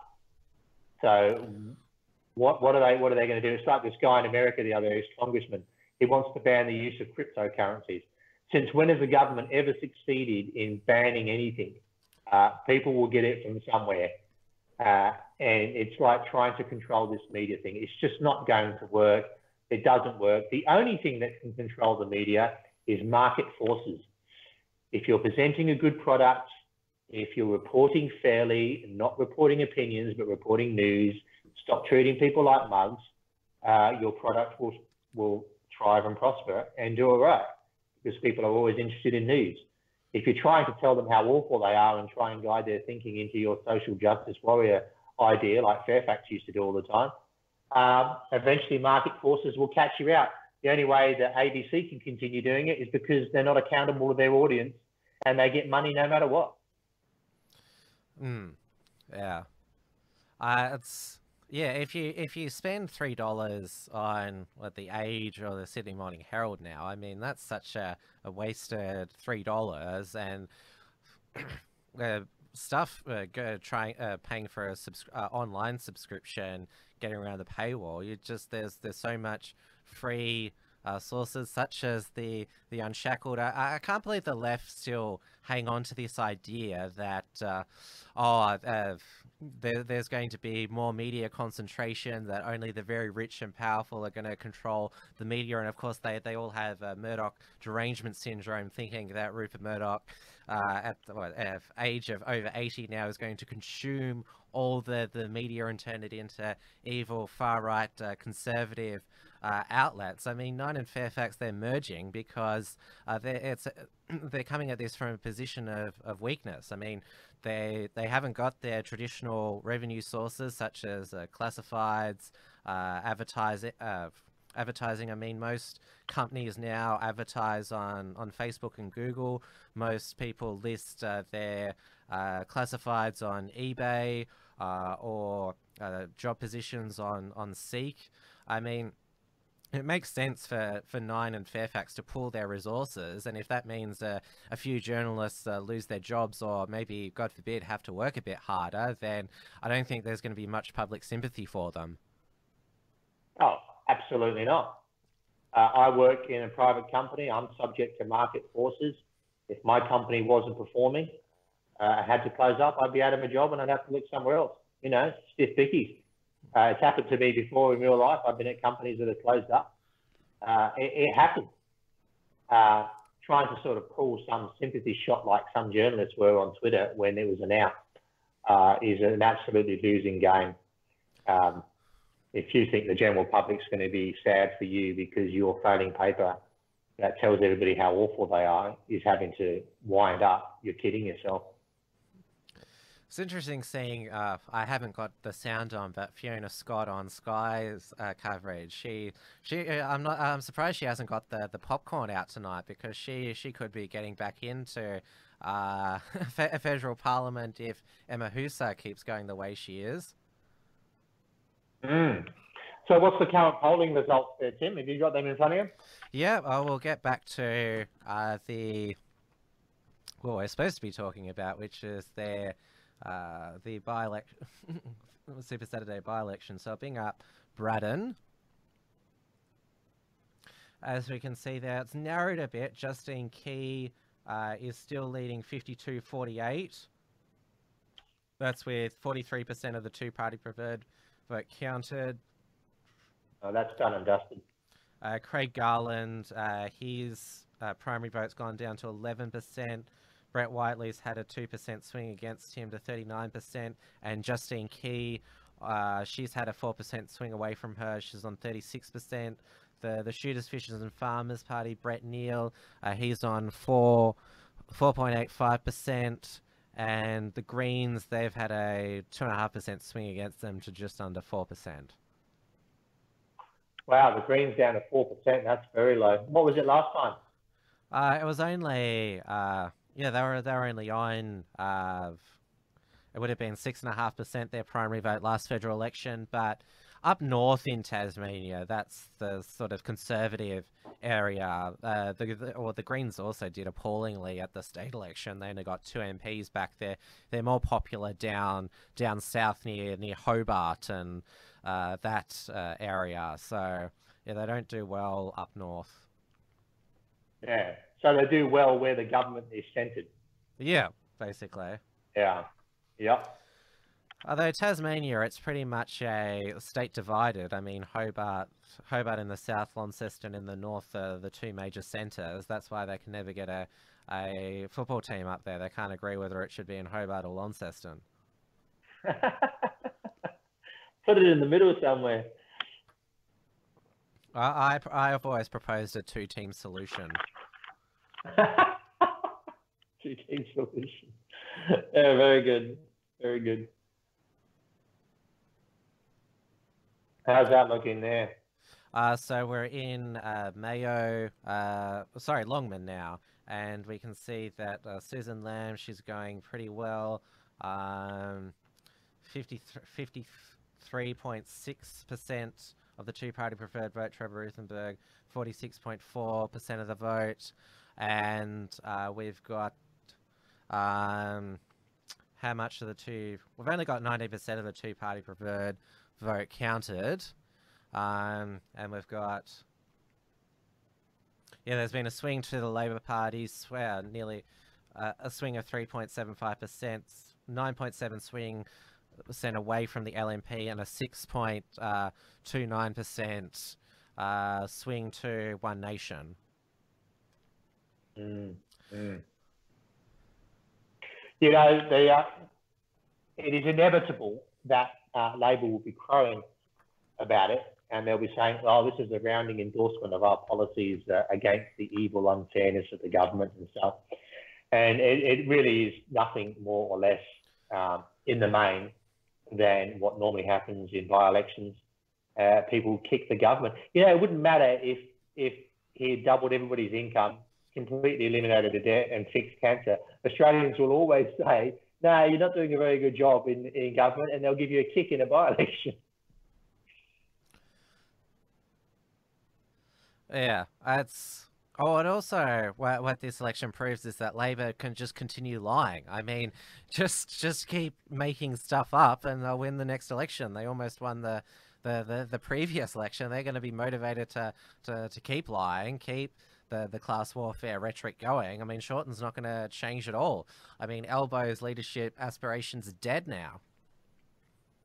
Yeah, that's um, that, that aspect that's very troubling that uh, they're allowed to get away with it. And what's also troubling is that Australians let them get away with it. Hmm. Um, yeah, if, if if they knew that that gave them catastrophic election results, because people just weren't willing to tolerate you just making stuff up. Uh, they would soon they would soon switch off uh, that tactic. Uh, but the fact that, as you say, they keep getting away with it, um, is pretty shocking. We might go back to Mayo. As we can see there, 20% of the two party preferred vote counted. Rebecca Sharkie, 57.8%, Georgina Downer, 42.2%. And if we have a look there, there's been a 9% primary vote swing to Rebecca Sharkie, 1% swing away from Georgina Downer, uh, 7% swing away from the Labor Party, and Greens have actually gone up uh, 1.5%. Mm. Christian Democratic Party were running in Mayo. They were first on the ballot. Um, they got 1.6%, which is not too bad. Uh, Liberal Democrats, just under 1%, uh, 0.9%. What did the Australian People's Party get? Uh, 0.8%. 0.8%. Yeah, I only just heard about them just the other day, actually. It's pretty much a populist party. I I don't have too too much time for them. Mm. Okay.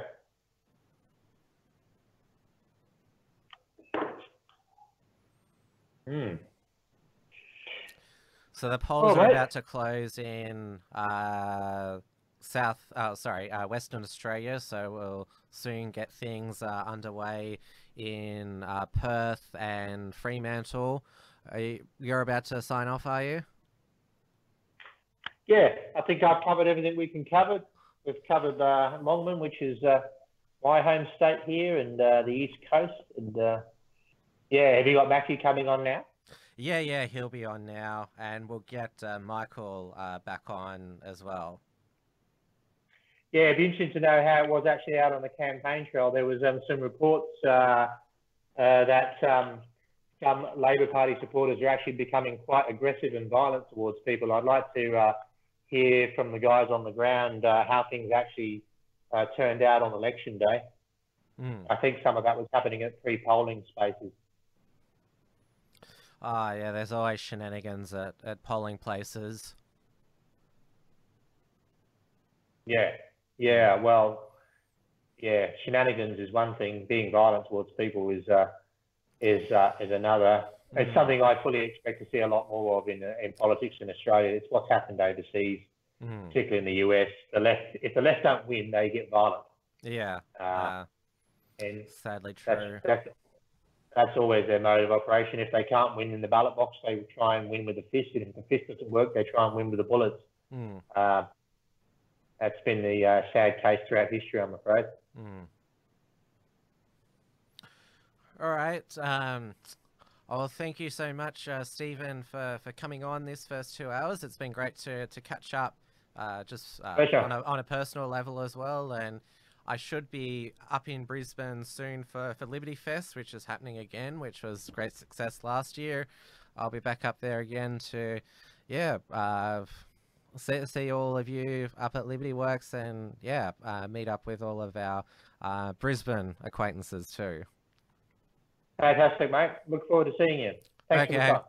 No worries. Stephen Cable there. Whew. Yeah, it certainly takes a lot out of you uh, doing these uh, live live streams. We've been going for just uh, two hours now. It's just before eight o'clock. We might bring in our Perth uh, expert uh, now, Matthew Lowry. I'll just uh, uh, dial him. That's Angel Sky News new. Uh, Sky News. Yeah, I'll just bring you in now. Oh, you've got a nice, nice backdrop there of all the Yeah. books. So polls are about to close in in your neck of the woods. Did you get out to any of the polling places today? Uh, not not today. Uh, yeah, I'm a bit uh bit far from the polling station in both states. Yeah, I was. At least you didn't have to vote today. I know. Uh, I, I mean Swan. So next door to Perth. Who's the the MP there at the moment? Swan. Steve Irons. Oh yeah, Liberal, Liberal MP. Yeah. Do you reckon there's going to be? I mean, there's a lot of talk that um, next federal election, WA will uh, turn red once again. What uh, what's what do you get? What's the feeling you get on the ground? Well, in Swan, we got Kim Beazley's daughter running in Swan. Kim Beazley, Hannah Beazley. So, how can how can Hannah Beazley could win Swan very easily?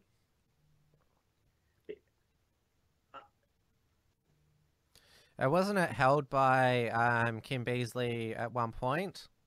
Yes, from 1980 to 1996. Then he switched to, to Brand in that election, Yes. which was uh, a good idea because uh, Labor lost that and they haven't gained it since.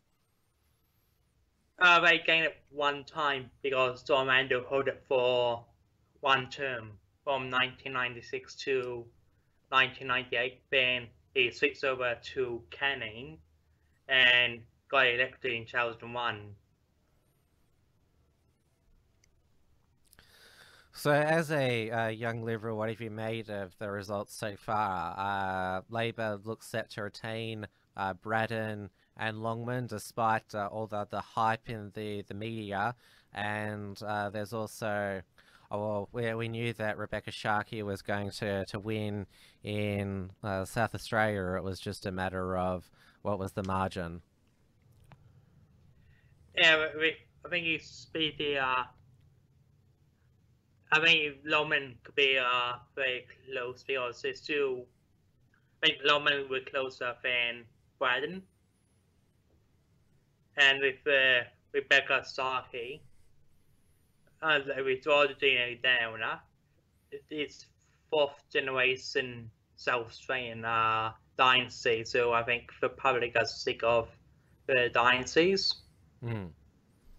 Yeah, most likely. And I was saying this before, Georgina Downer, she's not that impressive. If she was quite charismatic, then uh, the result may be different. Yeah, I think yeah. It seems very nice, but she should have won in the Victorian seat. Hmm. Yeah, definitely. so it's just after eight o'clock now, so the polls have have closed there. Liberal Party decided not to contest Perth or Fremantle. What did you make of that decision? Do they they right to save money, or should they have given the voters of those electorates a choice? Should of uh, should have won in both seats to get the money because it's two dollars seventy cents for every vote you get, and based on the last election results, the Liberal Party has lost one hundred ninety thousand dollars based on not winning on the by-election. Hmm. We should have won in both states. Hmm. One low, one low key campaign,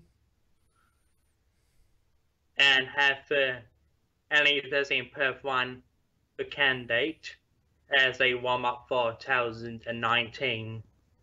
P- Perth is becoming more liberal, and with with still with still Perth, in the most prominent independent liberal running is Ian Britza.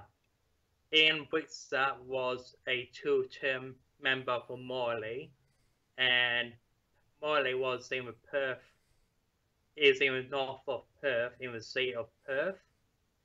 So Ian Britza got the big, biggest name, biggest name of all the liberals running in, you know, the independent, independent liberals running this seat of Perth. Yeah, who are the two two independents in Perth? I'll bring it up on the on the screen. So excuse all the zeros. So, what were their names again? Phil Collins, Yep. Ian Britza, and the son of Billy Graham, uh, Phil Graham. Sorry, which? Uh, Jim Grayden. Yeah, Dwayne Graydon. Yep. Yeah, and of course the Liberal Democrats are running uh, Wesley du Preez. Yes, he's from uh, Edith Cowan. So we may have a look at um, if there's been any update in Susan Lamb in still very comfortable position with 25.5% of two-party preferred vote counted. Uh, Susan Lamb, yeah, obviously well ahead, 55 45. And we can see on the primary vote, uh, it's, it's obviously still very good for Susan Lamb, 42% uh, of the primary vote, Trevor Ruthenberg, 25%. That's One Nation, uh, Matthew Stephen, the fact that he's only 10% behind the LNP, that's got to really scare them.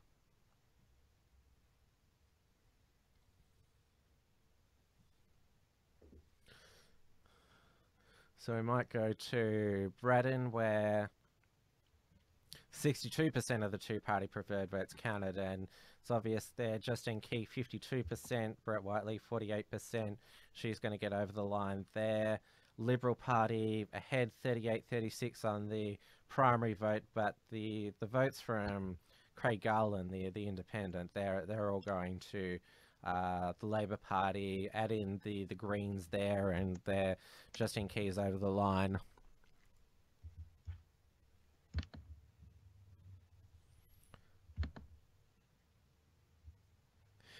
And the Australians just called Braddon and Longman for Labor, uh, which is uh, what we've been saying on this stream for um, the, the the past couple of hours since the the trend uh, became became known.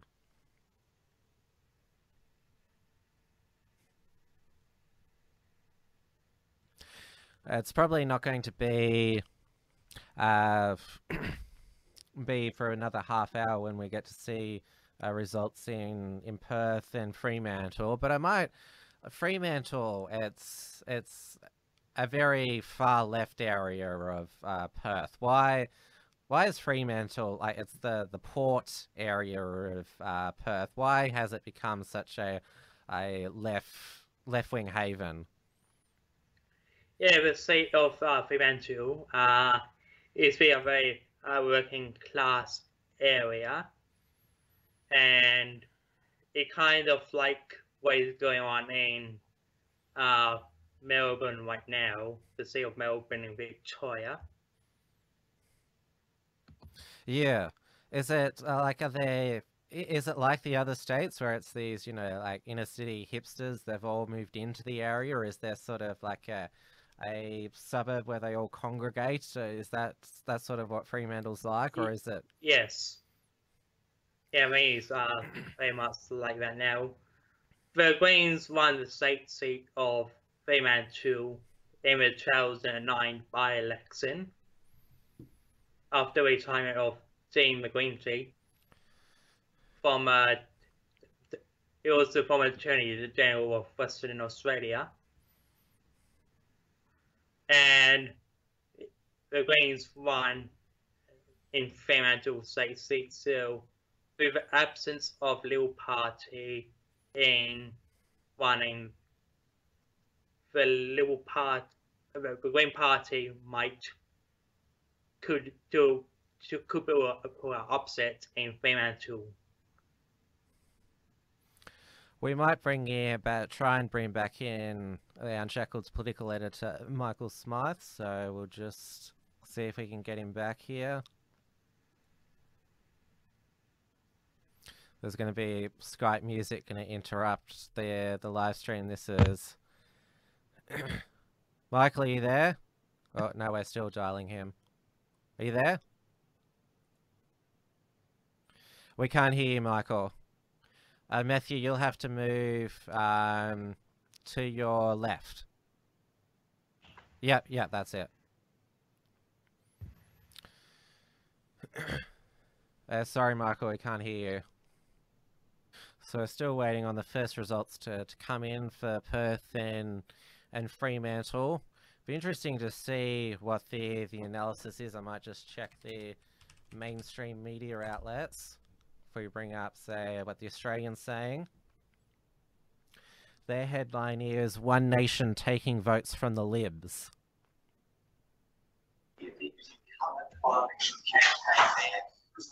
Oh. Michael. Hello. Hello. Sorry. Hello. I'm gonna have to probably put it on um, audio only, if that's all right.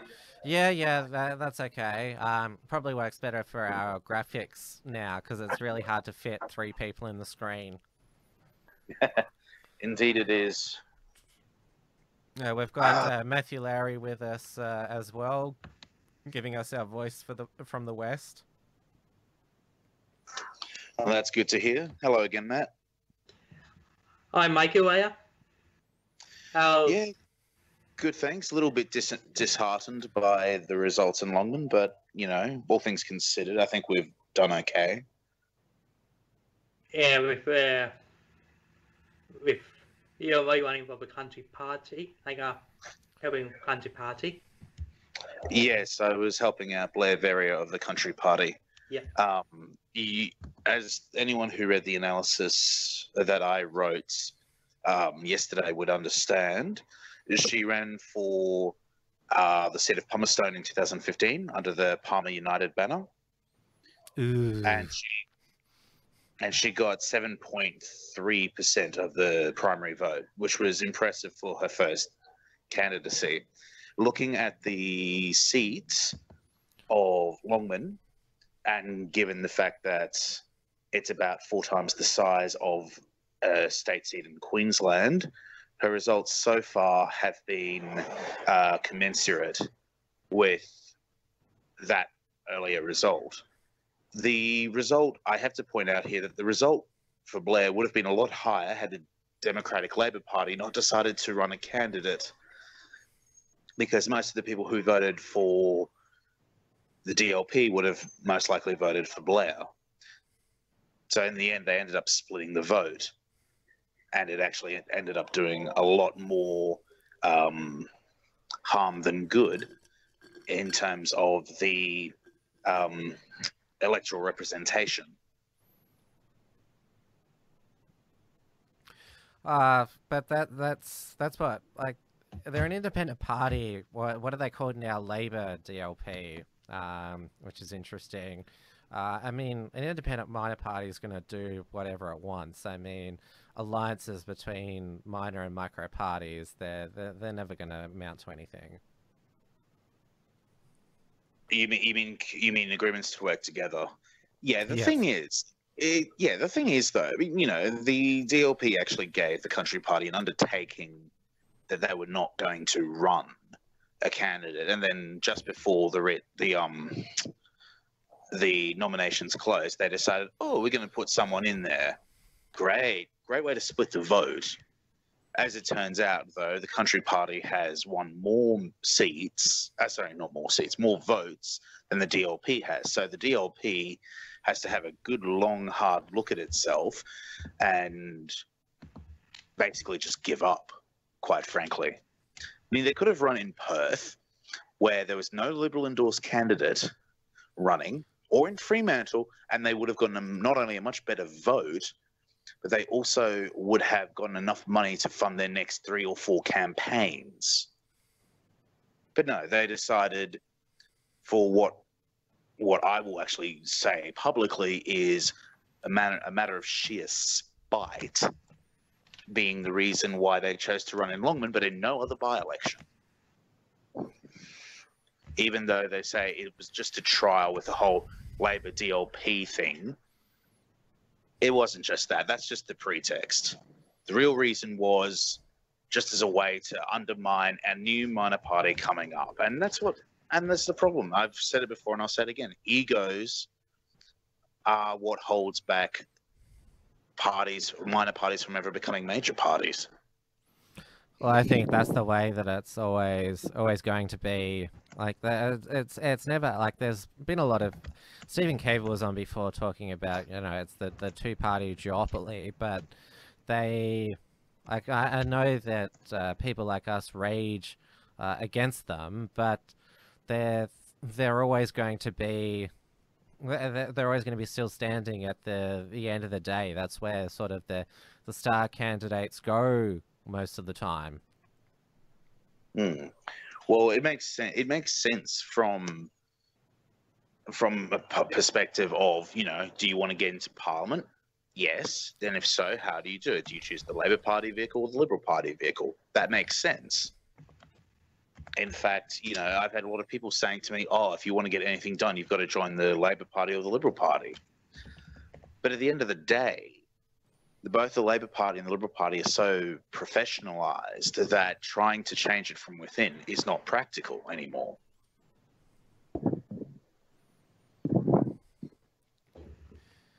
Still no votes uh, yet from uh, Perth or Fremantle at the moment. Hmm. Uh, it's only 15 minutes in.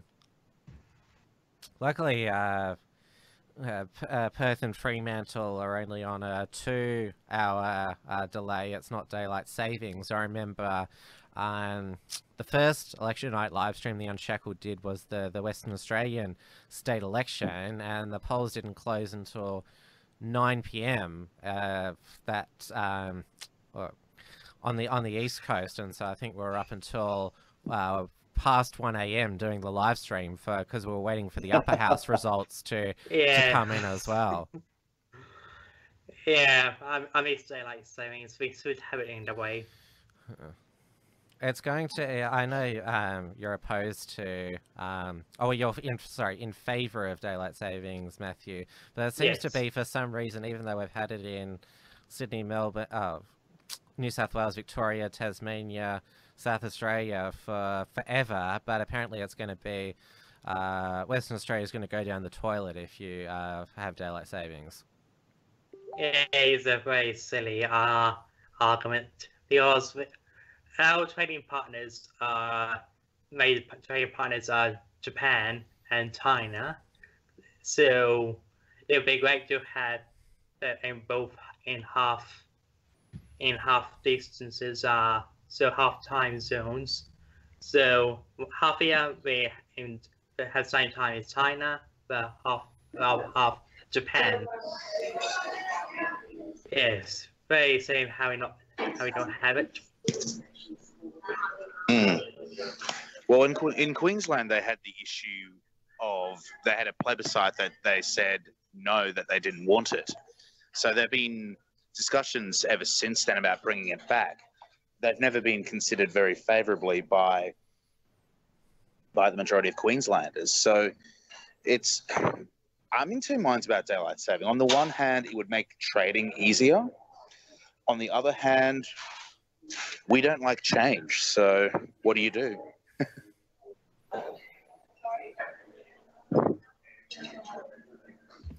Uh, I, I love daylight savings. I love it. Or I love summer, so I love it when it gets dark at nine o'clock at night.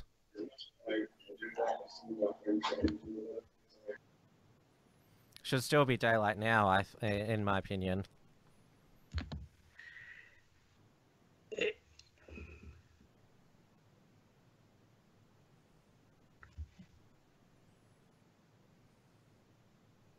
Oh, have we still got you there, Michael? Think we might have lost him. Oh no, there you are.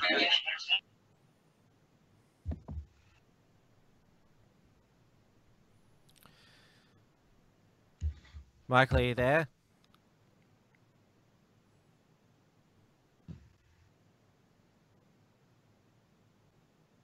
No, we've completely lost him now. He'll come back when he's uh, when he's ready. So they're showing the the Labor um, celebrations in Longman. They're all looking pretty excited there. But yeah, everyone's called Braddon and Longman for the Labor Party. So it's pretty much the the same. Parliament's going to be looking the same, which means out of all these uh, by-elections caused by uh, dual citizenship, uh, the uh, the sitting member uh, has been returned, or except in, in Batman, where the, the sitting member wasn't recontesting. So the incumbent party has or has won the subsequent by-election. Even Barnaby Joyce, uh, well, that was before we knew uh, all that we know about him now.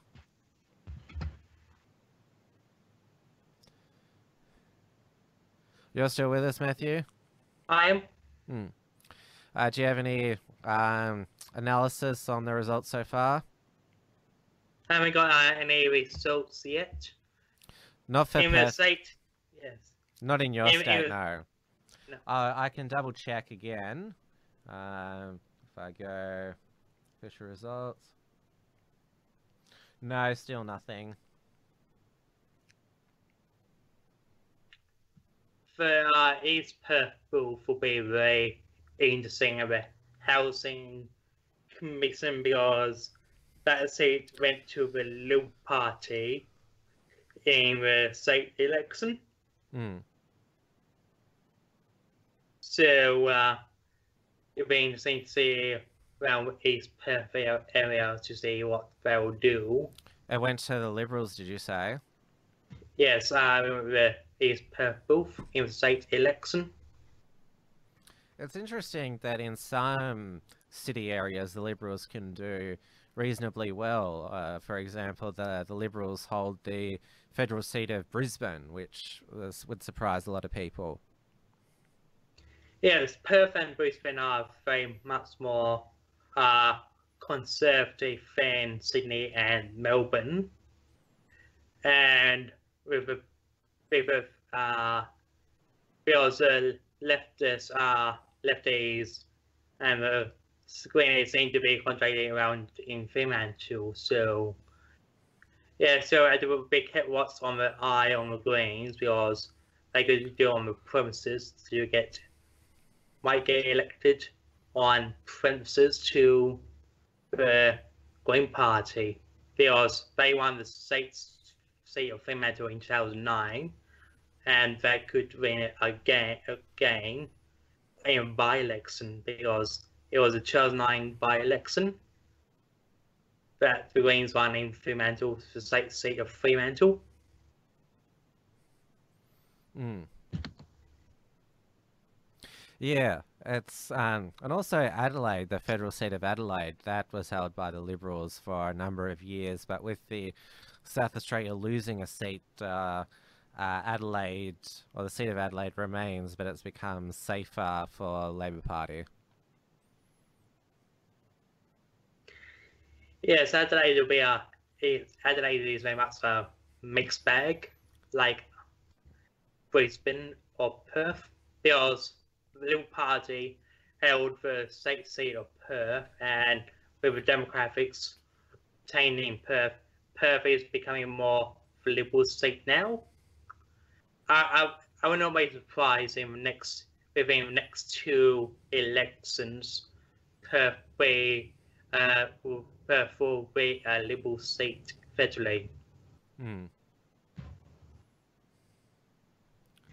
Still have got no results yet for um,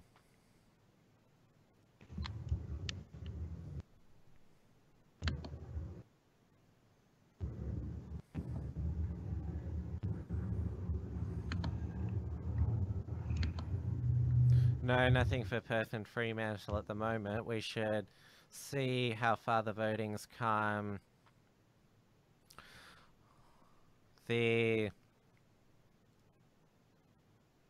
as we can see there, um, in Braddon, 67% of the, the two-party preferred vote is counted, and Justine Keay still holds a comfortable lead. There's been a slight swing, uh, 0.06% away from her, but that's uh, marginal. Uh, as we can see, uh, there's been a uh, swing away from the Liberal Brett Whiteley of uh, 2.2%. Um, also one away from Justine Keay of 4%. most of that's gone to the independent uh, Craig Garland and also the uh, Shooters, Fishers and Farmers Party, Brett Neal, he's got 4.85%. And uh, Donna Gibbons, another independent, she's done all right. She's got 2.4% of the vote. The Liberal Democrats got 1.2% of the vote. Greens did very poorly, 3.96% of the vote. We'll just go back to Longman.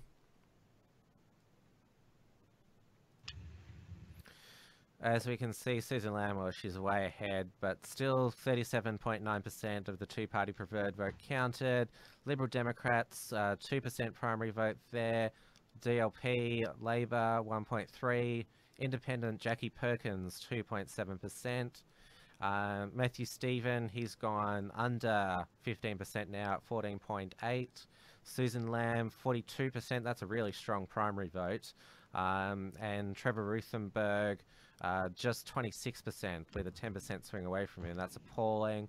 Uh, Blair Verrier, uh, Michael's candidate for the Australian Country Party, 1.7%, and Gavin uh, Behrens for the Greens, 6.1%.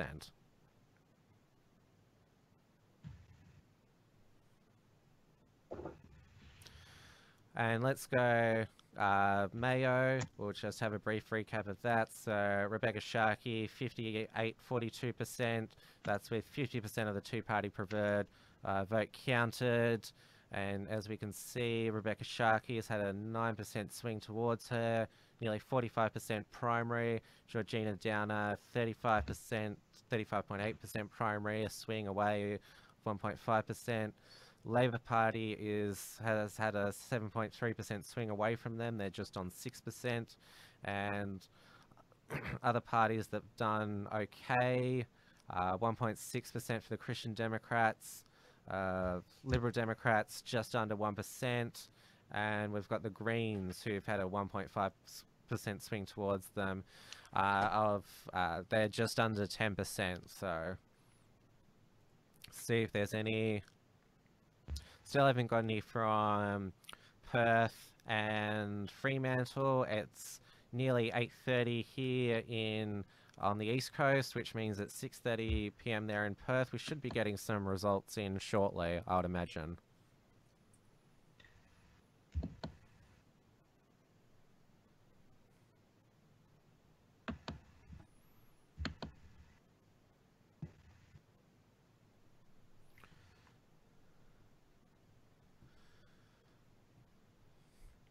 So, still no one has uh, been prepared to, to make a statement because we've got the, the TV stations on the background. We've just got uh, Georgina Downer's Georgina about to make Downer a statement.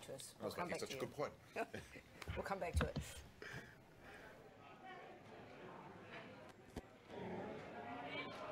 Friends of Mayo, thank you so much for being here tonight. It's been a, a very long campaign it's been a very hard campaign and in times it's been a very cold campaign. But the one thing that you can be absolutely assured has been consistent right the way through the campaign and that has been the commitment and dedication of your candidate, Georgina Downer.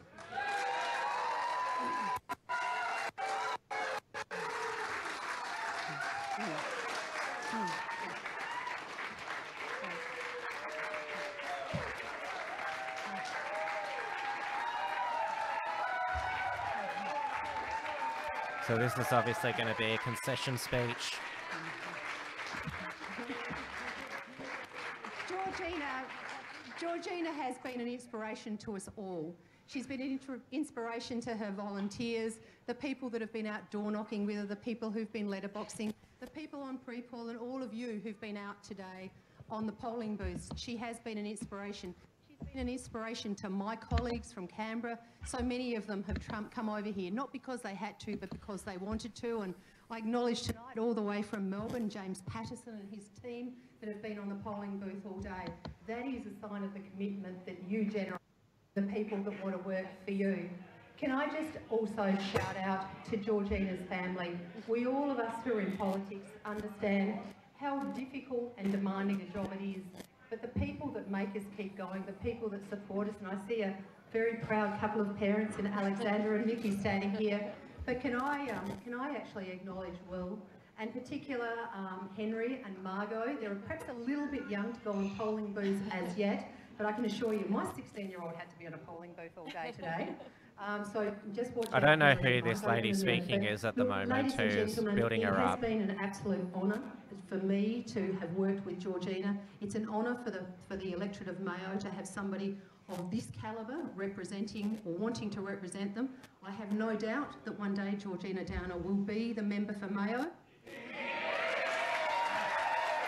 Uh, don't count on it.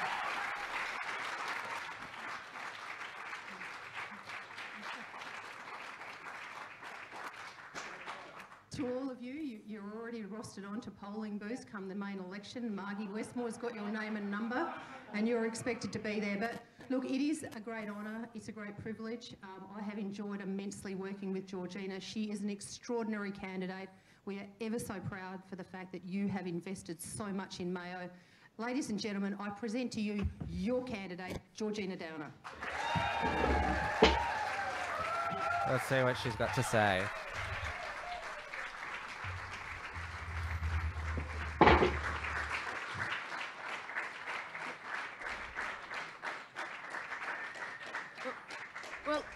Ladies and gentlemen, um, supporters, family, friends, uh, I have just spoken to Rebecca Sharkie and uh, I've congratulated her on being re-elected as the member for Mayo. Um, she put up uh, an extremely good fight to retain the seat and I, I do applaud her because um, ultimately this was a by-election um, that was about the people of Mayo and absolutely respect the decision they've made today. Uh, I would like to thank you all for being here tonight, but all the efforts you put in over the last 10 and a half weeks. A by-election um, is always tough for a government and being the government's candidate. We always knew that it would be a particularly challenging campaign, especially up against an incumbent in this unique set of circumstances with the Section 44 citizenship crisis. Uh, but I think we did an extremely good job, guys. I'm really proud of you all. Uh, thank you.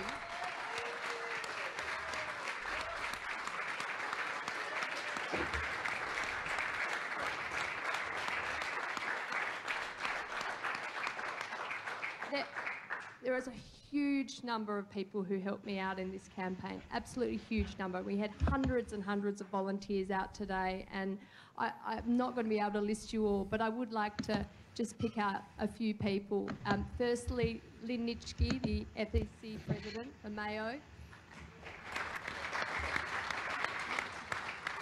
An absolute stalwart of the Liberal Party here in Mayo, and uh, without whom I, I wouldn't be here. And I really do thank you so much, Lynn, for all the support that you and John have provided me, not just over the last 10 and a half weeks, but, but over the last quite, quite a while, um, inspiring me to, to take up this challenge. So thank you to you both. To the indomitable Margie Westmore, wherever you are. You are small. Mayo, Mike, Mike, where are you, Mike? Um, there is no Mayo, Liberal Party in Mayo without you. Um, you are um, an absolute um, just hero to me. I could not have done this without you. Um, the amount of corralling of volunteers and uh, work you did day in, day out, in the middle of winter, sick, tired, you kept at it, and with Colin at your side, packing up pre-poll booths uh, and setting them up every single day, three weeks of pre-poll. Um, we, my, my whole family owes you a huge debt of gratitude, and um, I, I'm looking forward to the next chapter, Mark. so thank you.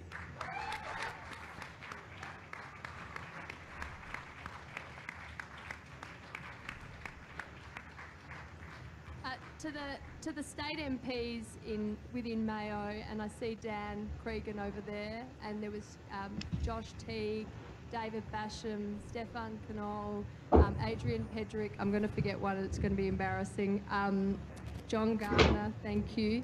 Uh, and, and Vickie Chapman, who's um, the paired state MP for Mawson.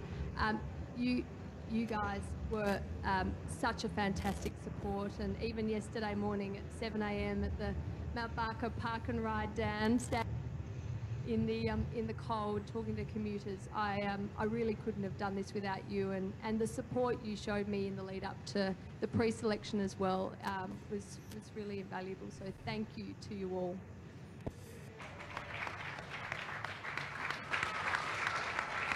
Um, to the to the to the young Liberals, uh, the young Liberals, um, and led by by Nick Barrack. I haven't seen him here tonight, but um, the Clemo family as well. There are um, and Bradley Orr. You, you you are there with me on weekends at supermarkets, always there in fantastic numbers. And the Liberal Party does not operate without the Young Liberal movement. It is an incredibly important part of the Liberal Party and, and what makes us such a successful party. Um, and, I, and I really do appreciate all the support that you, you always showed me um, over, over a very, very long campaign. And I know it was in the middle of uni exams, so it was particularly challenging uh, for many of you to get out, but you still did it, and I really appreciate it. So thank you. Thank you to you all.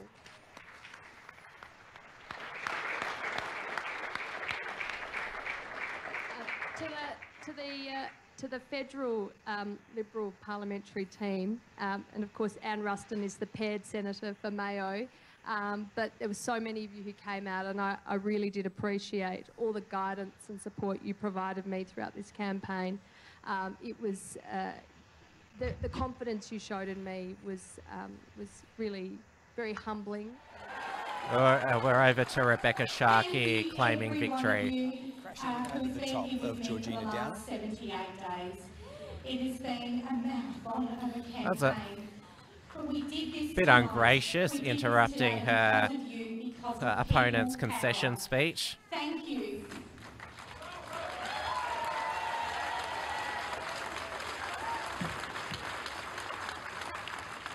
Tonight we have shown that you don't need huge wads of money. You don't need a huge political machine.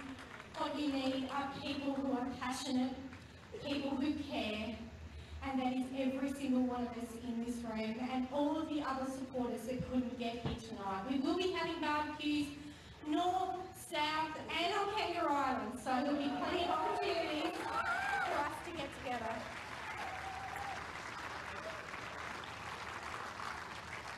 I was crushed the day I resigned, but, but today is really sweet and, and I could not do this without you.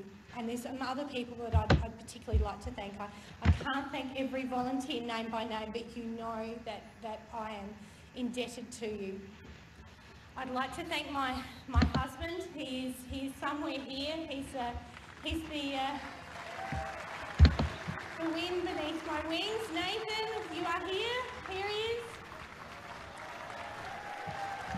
And uh, my children, Edward, William, Evelyn, they're here tonight. My parents, Tina and George, they're somewhere in there. And Dad, thank you for the Magna. I can now. Dad, Put 18,000 kilometres on your Magna. I'm really sorry. But, uh, but uh, I promise I'll get it serviced. Um, I'd, I'd, like to thank all of my staff because uh, we haven't been allowed back in the office. Um, the day I resigned, I had to hand back the keys to the car, I had to hand back the keys to the office, and I had to say goodbye um, to, to my staff. And uh, I've got to make sure I get everybody's names. Um, Daniel, uh, Danielle, uh, Megan, Gemma, Haley, Mitch, uh, th they were the ones uh, that were in our office, uh, and we've got uh, Kelly, who's here tonight. She's on maternity leave. Uh, Kelly's waved somewhere, and then um, then there were three staff who lost their jobs when I resigned, and they were Michael and Sam and Genevieve, and together the three of us, well, with me, that makes four. Um, we've been squished in a tiny, tiny room in the back of my fabulous accountant, Adam Ocean, on 58 Adelaide Road. Bit of a club for Adam. He has put up with us for 78 days, and Adam, I love you. Thank you so much. Um, I've got some of my, my parliamentary colleagues here. Um, Skye Kakoschke-Moore, we've got to get this woman back into the Senate next election. Rex Patrick is here. Rex, uh, Rex, I couldn't have done it without you either. Um, Stirling is not here tonight, um, but um, Stirling has been helping me behind the scenes every day.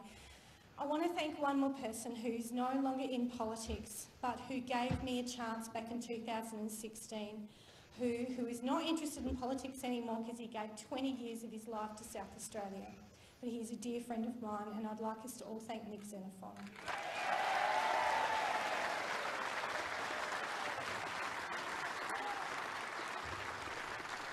So, none of us know All right. Well, she's a survivor. Sharkie, she claims.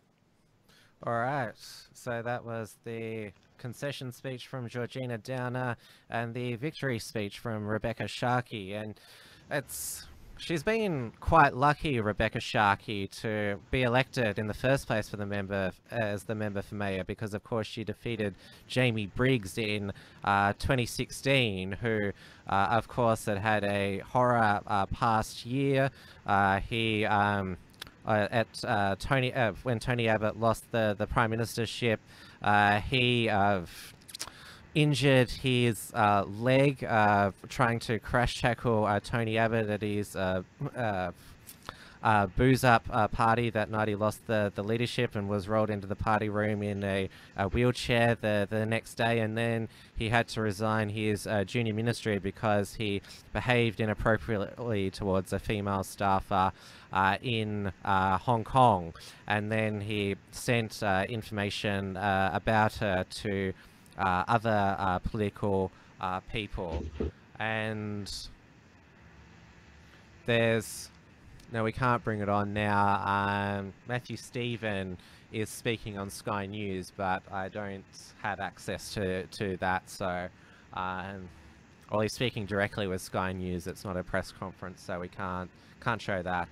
Um, but yeah, Rebecca Sharkie, she was obviously lucky that she was also against a flying candidate from from interstate. She's been very fortunate. You you get a bit, yeah, when she says that, oh, I lost everything when I got thrown out. You don't sort of like it when politicians are, are too comfortable.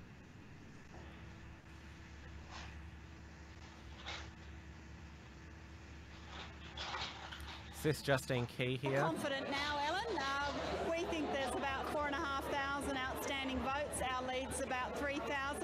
think Brett Whiteley can now make this up. What are you putting this success down to? Uh, it's been a very local campaign. Justine's been working really hard on the ground. No, the big issue's been health, and we've seen the Liberal Party's cuts to health. Uh, we've seen Brett Whiteley support a GP. That's not uh, Justine Keay. That's what's her, what's her name again? Julie Collins, their federal member for Franklin. So she's just being interviewed by ABC News 24. So Matthew Stephen, the Sky Graphics says, "I'm like a lost kid in the candy store. You can't get the smile off my face." Well, he's done well with 15, um, or around about 15% of the primary vote after pretty sustained scrutiny on his pretty much his character and reputation. But uh, he's he's he's brought One Nation back after uh, they lost uh, Senator and Brian Burston, and even when Pauline Hanson was overseas.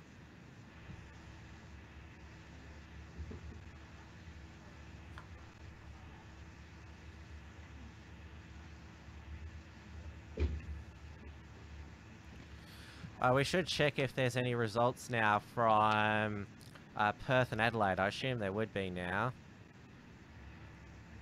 If I can bring those up. Oh, yeah, we've got some results from. We'll bring up Fremantle uh, first. I know this is what you've been waiting for, Matthew. Yes.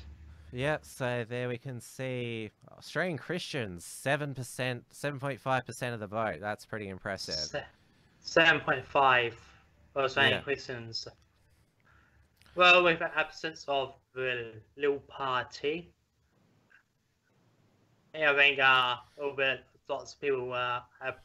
Uh, I've seen some people saying or saying questions or Liberal Democrats. Yeah, Liberal Democrats. Uh, I've just seen their figure: fifteen point six percent of the vote for their candidate, John Gray, which is, wow, they'll they'll they'll um, be getting some good electoral funding from that. And an independent, Jason Spanbrook, he's got uh, seven uh, percent of the of the primary vote, and the Greens only eleven point five percent. So Liberal Democrats have beat the Greens.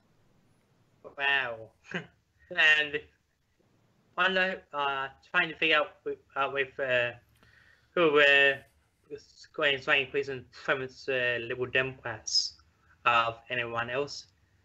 Trying Who to find did? if there's, I'm trying, trying to find uh, Liberal uh, if what if uh, got saying questions preference uh, Liberal Democrats. Mm. I'm trying to find out if I did.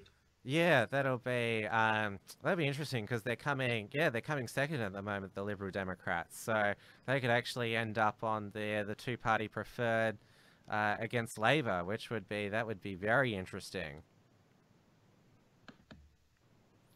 Let's have a look for Perth now.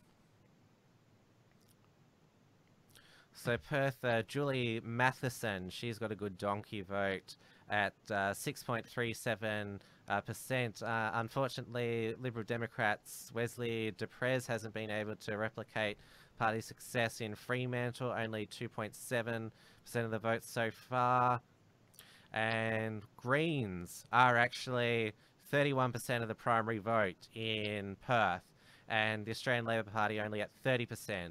Paul Collins, independent, he's got 17% uh, of the vote. So, but probably on preferences, the uh, Labor Party will get over the line, but that's pretty impressive for the Greens in um, in Perth. 31% primary vote uh, is very good for Greens in Perth.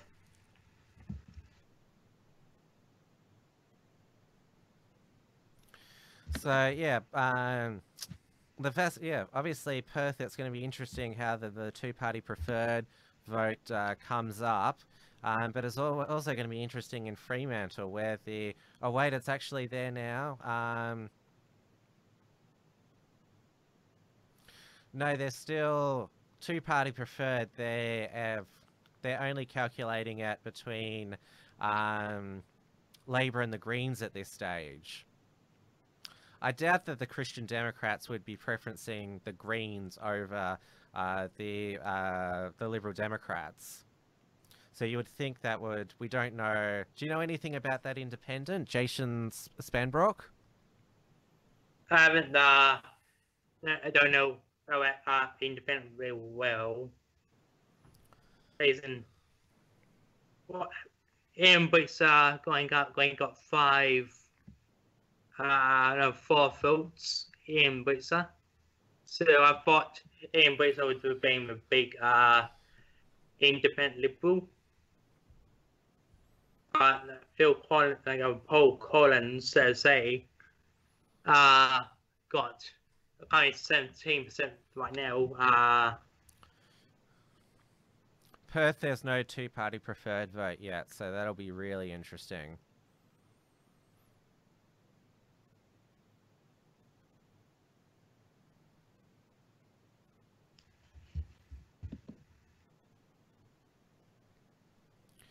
We may as well check while we're at it. Uh, let's see. Still not too much of a two-party preferred vote counted in Longman, but as we can see there, um, Susan Lamb, well, 55-45 ahead. And as we can see, that's most likely because a lot of people voted early in Longman. It had the one of the highest um, pre-polling out of all the the Super Saturday by-elections. I do not understand why they still don't don't count pre-poll until Monday, even even though those votes are cast early. Because what they do in New Zealand, because I covered the New Zealand election, is the pre-poll.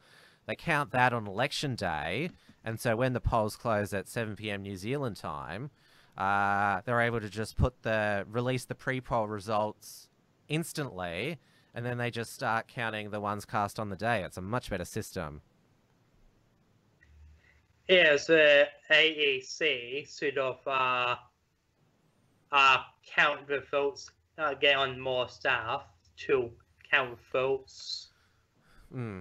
If and New then Ze- the results done. Hmm. That way much more easier. Yeah, if New Zealand can do it, then I think the AEC uh, can do it. But did you know that in New Zealand that it's actually against the law to hand out how to vote cards? They don't have how to vote Wow. card people. Completely different in that regard. So you just turn up to the polling.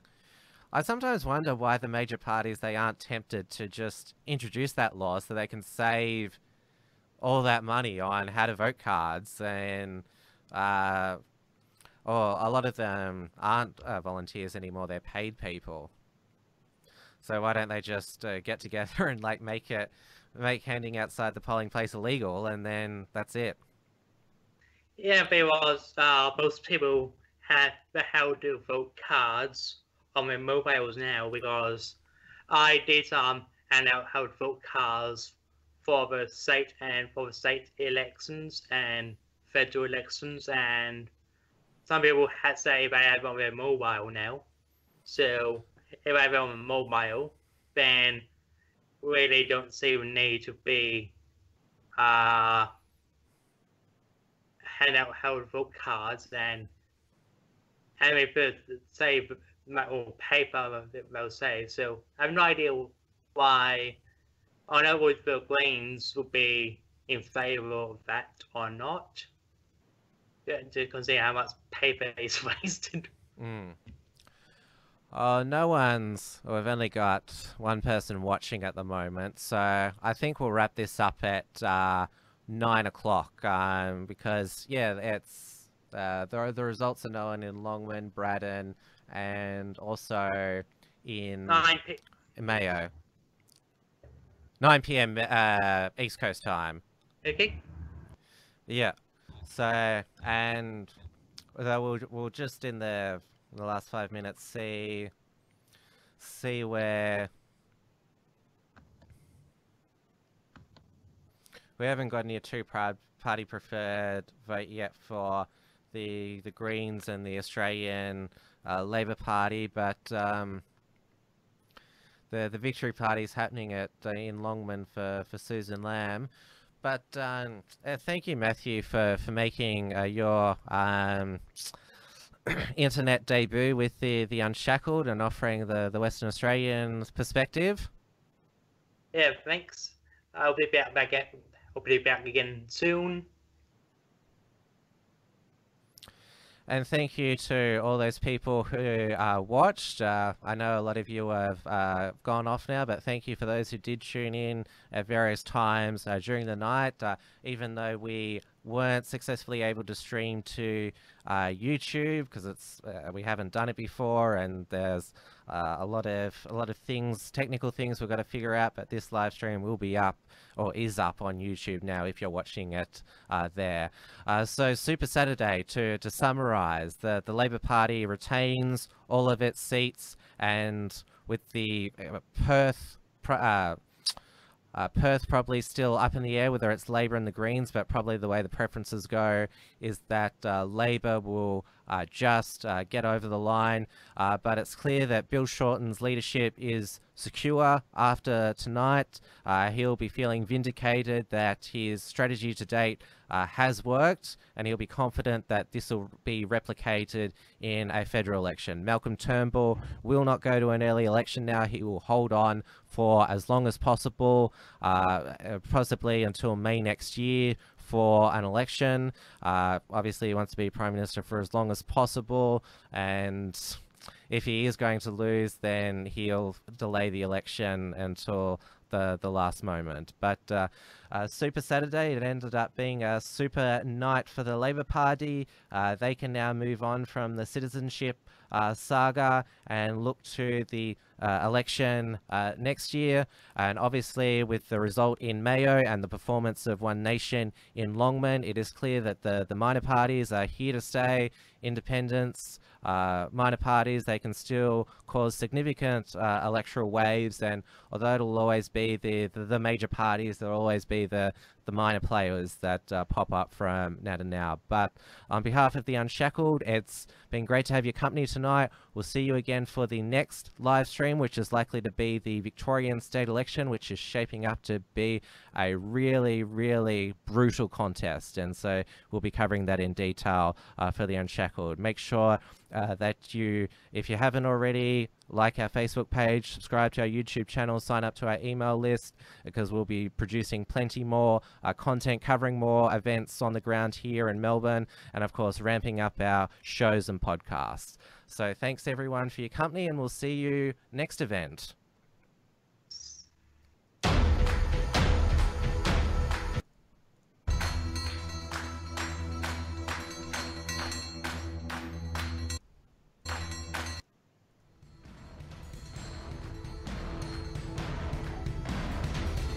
This has been an Unshackled live stream.